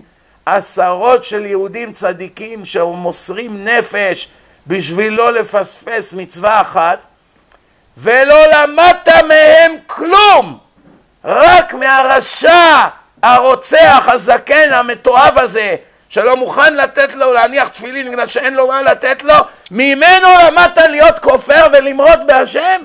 למה לא למדת מכל הטוב? וזה מה שאני אומר לך היום. הבנת אותי? חזק וברוך. יש עוד שאלות לפני שמסיימים? כן, בבקשה. לא מכיר? לא מכיר את הדת. כן. אתה? הוא, אז נפלת על שיעור כבד היום. לא ידעתי, הייתי מדבר על הוכחות. תביא לו בבקשה תורה ומדע. לא, אני מאמין בקדוש ברוך. אה, אוקיי, נרגעתי. אוקיי. לא- לא זה מה שנקרא הארדקור, זה קומנדו היום, אוקיי. נו, כן. אה, עכשיו אמרת שהקדוש ברוך הוא למעשה נתן לנו את התורה, ואת מה שאני יודע, אנחנו קיבלנו רק עשרת דיברות. השאלה שלי, מה זאת אומרת נתן התורה? הוא כתב ורשם אותה? מה... סליחה על השאלה שאני מבין ש... קודם כל, אני מתחנן בפניך. יש לי סרט שנקרא תורה ומדע. הוא יועיל לך מאוד מאוד בחיים. תורה ומדע. שם אני מסביר איך היה מעמד הר סיני וכולי. במעמד הר סיני לא רק קיבלנו את עשרת הדיברות, מה פתאום? עשרת הדיברות היו הלוחות. קיבלנו את כל התורה שבעל פה ואת כל התורה שבכתב עד פרשת יתרו. תכף תשמע. עכשיו משה רבנו הביא את כל, הר, את כל בני ישראל להר סיני. בהתחלה הוא הוריד, הוא ירד מהר סיני, מה, הוא, עלה, הוא עלה להר סיני, הוא ירד אחרי 40 יום, הוא רואה שעשו את עגל הזהב, שבר את הלוחות, עלה שוב להר סיני, עוד 80 יום הוא היה שם. מתי הוא ירד? ביום כיפור. יום כיפור הוא ירד והביא את הלוחות השניים. בתורה כתוב, סלחתי כדבריך. ואז כתוב שהיום הזה יהיה יום סליחה וכפרה. ביום ההוא יכפר עליכם מכל עוונותיכם, לפני השם תתארו. יום כיפור נהפך ליום סליחה, בגלל שביום הזה הקדוש ברוך הוא סלח לנו על חטא העגל, ונתן לנו מחדש לוחות שניים, עשרת הדיברות השניים. ואז משה הביא את כל התורה שבכתב עד פרשת יתרו, שהוא כתב אותה בהר סיני, ואת כל הדינים שהולכים על התורה שבכתב, שהם נקראים תורה שבעל פה. ומאז עד יום מותו, 40 שנה אחרי, הוא כתב כל כמה חודשים או כל כמה שנים, הוא כתב עוד פרק בתורה, אחרי שהדברים קרו. למשל, כשמשה ירד מהר סיני, היה לנו כבר את התורה מבראשית ברא אלוקים את השמיים ואת הארץ, עד פרשת יתרו, שזה פרשת מתן תורה. מפרשת יתרו 40 שנה עכשיו אנחנו הולכים להיות במדבר, נכון? כל מה שהיה וזה. כל פעם שקרה משהו, השם היה קורא למשה לאוהל מועד, מת, מתייחד איתו באוהל מועד, בענן, והיה מראה לו על אש, על רקע של אש, אותיות רצות. ומשה היה כותב עוד פרק בתורה, עוד קטע, עוד קטע, עד שהגיע ליום האחרון בחייו, הוא סיים את התורה. יש מחלוקת בחז"ל אם את הפסוק האחרון משה כתב או יהושע בן נון, כי כתוב שם וימות משה וכולי. זה לא כל כך משנה בין ביהושע סיים את הפסוק האחרון או משה, הבנת את הנקודה. עכשיו בסוף הארבעים שנה משה כתב בדרך נס ביום האחרון לחייו שלושה עשר ספרי תורה. אחד הוא שם בארון העדות, שלא יהיה טעויות, ואחד נתן לכל שבט ושבט, 12 שבטים, כל אחד קיבל תורה כמו שיש לנו היום, על גבילים, הכל. ואמר להם תתחילו להעתיק, תעשו, תעשו העתקים. היום יש לך כבר אלפים רבים של תורות. וכל שבע שנים כולם התקבצו למצוות הקהל וקוראים את התורה במעמד פומבי וכל מי שיש לו טעות מתקן. יש לעוד מישהו את הטעות באות הזאת, כי נופלים טעויות. אז ככה התורה ניתנה. עכשיו, כל התורה שלנו, יש בה תרי"ג מצוות, 613 מצוות, אבל בתורה שבכתב לא כתוב אפילו על מצווה אחת איך מקיימים אותה. רק כתוב את שם המצווה וזהו.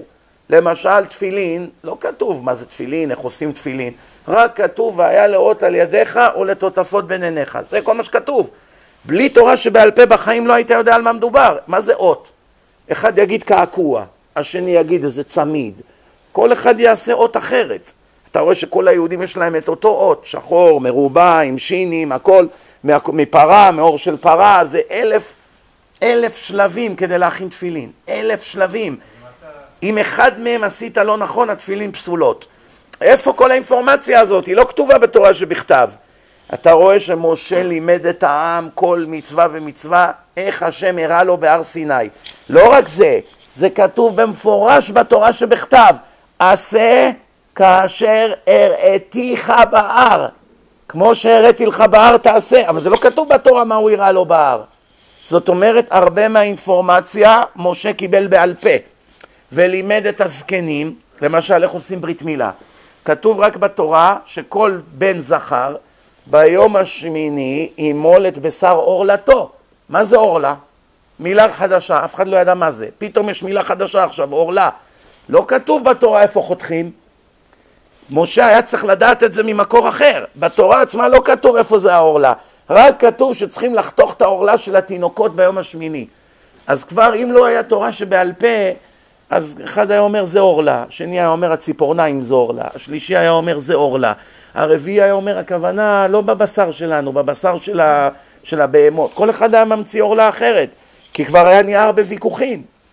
אתה רואה שכולם חותכים באותו מקום ובאותה שיטה עם אותם כלים, הכל אותו דבר, בכל העולם.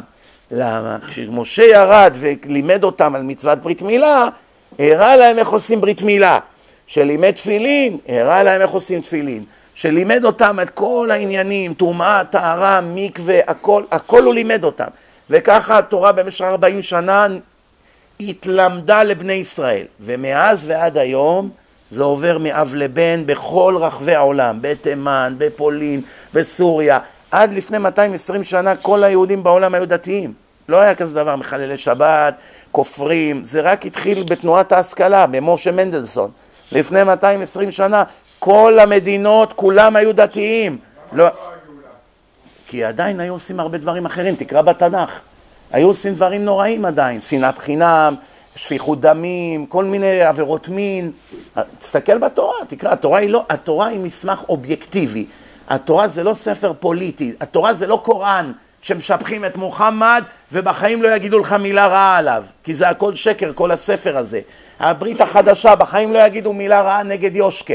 אלה קרישנה פה, הארורים, בחיים לא יגידו לך מילה נגד קרישנה, אבל התורה שלנו מלאה מדברת נגד משה, ונגד אהרון, ונגד נדב ואביהו, ונגד בני ישראל. כל הרע שעשו כתוב בתורה, בתנ"ך, בגמרא, אין סילוף ואין טיוח. מה יהיה איתנו? אני אגיד לך מה יהיה איתכם. אם תשמרו שבת כמו שצריך, תלמדו כל... רגע, רגע, רגע, סבלנות. אם תשמרו שבת כמו שצריך, שזה עונג גדול, כמו שאמר הקומנדו פה, איך, הוא אמר שמו? ברוך מסיירת שלדג. ברוך אמר, תלמד אותם את היופי שבתורה, של השבת. הוא צודק, זה גם קצת בתורה. לאהבה וליראת השם. שבת זה עונג גדול. זה כיף, אוכלים ושותים וישנים ובאים לבית כנסת ולומדים תורה ומארחים אורחים ומתארחים אצלם וזה מנוחת הנפש ומתפטרים מכל הלחץ של העבודה, זה נפלא. תשמור שבת, לא לחלל שבת, תלמדו תורה כל יום, לפחות שעה מינימום, תניחו תפילין, תתפללו לפחות תפילה אחת ביום, כדי לפחות לצאת לידי חובה מדאורייתא. תקפידו בכשר לא לקנות דברים שאסור לאכול, תשמרו על גדרי הצניעות, אם יש לך אישה, היא צריכה ללכת למקווה, לחזור, כל הדברים האלה.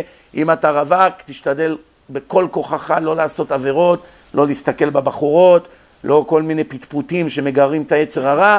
תתחתן עם בחורה כשרה, צנועה, תקים בית נאמן, מובטח לך שאתה בן העולם הבא. גם אם עשית עבירות, תקבל עונש עליהן, אבל לפחות בסוף, בסוף יהיה לך חלק לעולם הבא. לעומת זאת, כל מי שמחלל שבת, גם אם חוץ מזה הוא מלאך, אין לו חלק לעולם הבא, הוא נחשב כגוי, הוא נחרט מעם ישראל, זה כתוב 12 פעמים בתורה, ואני אגיד לך עוד משהו, אתה יודע, כעסו עליי שאני דיברתי על החיילים, חושבים שכאילו אני יש לי איזה משהו נגד החיילים. הנה לך עוד טיפשות ממדרגה ראשונה. א', אני הייתי חייל, ב', חצי מהתלמידים שלי חיילים. ג', אני שיבחתי את החיילים מאות פעמים, ואני נלחמתי בסאטמרים ובכל אלה שהם שונאי הצבא והציונות, וכמה חייבים לכבד את החיילים ולהכיר להם טובה וכולי. אבל אני גם אמרתי שחייל שמורד בקדוש ברוך הוא ושונא אותו ושונא דת ושונא תורה ומחלל שבת והוא הומוסקסואל וגונב ועושה את כל העבירות שבתורה ואיזה ערבי ראה אותו בשקם וירה בו, החייל הזה לא הולך אקספרס לגן עדן, בגלל שכל חייו הוא מרד בקדוש ברוך הוא. מילא היה חייל דתי שעושה עבירות, אבל לפחות שומר שבת, ובא איזה גוי והרג אותו, זה העלה אותו במדרגה גבוהה מאוד. חיילים שמרדו בקדוש ברוך הוא וחיללו שבת, זה יעזור להם שהם מתו על הגנת המולדת, זה יעזור להם שהם מתו בגלל שהם יהודים, ודאי שזה יעזור להם, כי הם מתו בזמן מצווה, אבל אי אפשר להתעלם מזה שהם היו מחללי שבת, והראיה לדבריי, יש מעל חמישים סיאנסים מפורסמים שעשו פה חילונים עם חיילים. חיילים חברים שלהם שמתו, והביאו את הנשמה של החייל הזה ודיברו איתו. ואחד מהם לא אמר שהוא בגן עדן. כולם אמרו שהם סובלים ותעשו דברים כדי לעזור לנשמה שלי. ובחלק מהסיאנסים האלה אמרו להם, למה אתה סובל? הרי מתת בצבא, היית חייל, אומרים שמי שמת חייל הולך לגן עדן. אז הוא אמר זה נכון, אבל חיללנו שבת. תמיד הם ענו את אותה תשובה. חיללנו שבת. בגלל זה לא הלכנו לגן עדן. בגלל שמי שמחלל שבת, הוא כבר יצא מכלל יהדות. הוא יצא מעם ישראל. אז אפילו זה שהוא מת למען עם ישראל לא יועיל לו במאה אחוז. בגלל שהוא כבר לא נחשב כיהודי. מחלל שבת הרי הוא כגוי לכל דבר, גם אם הוא גנרל גדול. גם אם הוא אריק שרון שנלחם והיה מוכן למות ונפצע ואין מה לעשות, שבת זה הקשר שלך לעם ישראל. אין לך את זה, זה כמו טלפון של אלפיים דולר בלי מטען. אין מטען, לא ייצרו מטען. מה שווה הטלפון? הוא לא יכול להתחבר, לא יכול לקבל טעינה. אם עכשיו יביאו לכאן לארץ טלפון הכי טוב בעולם ואין לו מטענים. שווה אלפיים דולר, אבל אין מטענים. מישהו יקנה אותו? גם דולר לא ישלמו עליו. זה יהודי שמחלל שבת. הוא שווה מיליארדים בפוטנציאל, חילל שבת, נחרט מעם ישראל. לכן אמרתי לכם, אני לא מבקש מכם להיות רבנים ולשבת כל היום בישיבה, הלוואי שתעשו את זה. אבל המינימום של המינימום, שמירת שבת, לימוד תורה יומיומי, להתגלח במכונה לא בתער, לאכול כשר, לא לעשות עבירות מין, להתחזק באמונה וכל, זה יחזק אתכם באמונה, ובעזרת השם, גם אם עדיין יש לכם כל מיני עבירות למיניהם, לפחות אתם במצב גבוה מאוד. למה? אתה כבר שומר שבת, אתה מניח תפילין, אתה מתפלל, אתה מתחזק באמונה, אתה לומד תורה, אתה במדרגה כבר, הבנת? ואז גם אם צריך לעבור בגיהנום כך וכך שנים כדי להתנקות מהעבירות, לפחות יודעים שעוד מעט הולכים למקום נפלא. זה נחמה, אתה מבין? אבל מי שחילל שבת, תם ונשלם הסיפור שלו. במקרה הכי הכי טוב, הקדוש ברוך הוא יגלגל אותו עוד פעם, אבל זהו, לגן עדן הוא לא יכול להיכנס בתור מחלל שבת. גם אם הוא בנה מאה ישיבות, גם אם הוא הציל חיים של אלפי אנשים, בתור מחלל שבת הוא לא יכול להיכנס בעולם הבא איפה שהשם הבטיח. כי יש פסוק 12 פעמים בתורה שאני כורת את הנשמה הזאת, ובתורה לא כתוב אני כורת אותו רק אם הוא בן אדם רע. אני כורת אותו רק אם הוא לא נתן צדקה. אני כורת אותו רק אם הוא היה חילוני מהזבל, לא מהטובים. לא כתוב את זה. כולם, אפילו מחלל שבת שהוא הבן אדם הכי נחמד בעולם, נחרט ועובד לנצח נצחים. והרמב"ם כותב את זה מפורש. אנחנו לחיי עולם והם לדיראון עולם. אתה יודע מה הרמב"ם כותב על מחלל שבת? הרמב"ם, אפילו קורבן נדבה, נגיד אדם נולדה לו בת, רוצה להגיד תודה לקדוש ברוך הוא, רוצה להעביר כבשה לבית המקדש, שיעשו קורבן, תודה להשם. נדבה, זה לא חיוב, זה לא חיוב, עכשיו חטאת, אתה צריך להביא קורבן חטאת, לא, זה נדבה, בא לך תביא, לא בא לך אל תביא. אפילו קורבן נדבה שמקבלים מן הגוי, ערבי נולדה לו בת, אסמאעיל, מוחמד, אחמד, מחמוד, סעיד, נולדה להם ילדה, אם יש בית מקדש בזמנם והיו פה ערבים, הוא בא לכהן, הרב כהן, נולדה לי ילדה פאטמה אתמול, הנה קחו אני רוצה כבש, לאללה, תקריבו בשבילי, תגידו לו תודה בשבילי, אתם צדיקים, תקריבו. מקבלים ממנו, מקבלים ממנו גם אם יודעים שהוא רוצח, מקבלים ממנו. והרמב"ם כותב, אפילו קורבן נדבה שמקבלים מן הגוי, אין מקבלים מן המחלל שבת המשומד הזה. שמעת? יותר גרוע מערבי מחבל, בעיני השם. ברוך אתה בתור אדם שהיה fighter, צריך לעבוד עם הראש, לא עם הלב. אתה יודע מה אומרים בצבא, מה שלא בא דרך הראש, בא דרך הרגליים. כן. עכשיו אני יכול להגיד שהאיש שחיסל את אחמד יאסין היה בשיעור שלי. זה מעלה את המניות שלי. נו. כן. נו, נו. הוא גם כהן? וואי, וואי, וואי. נו, נו, נו.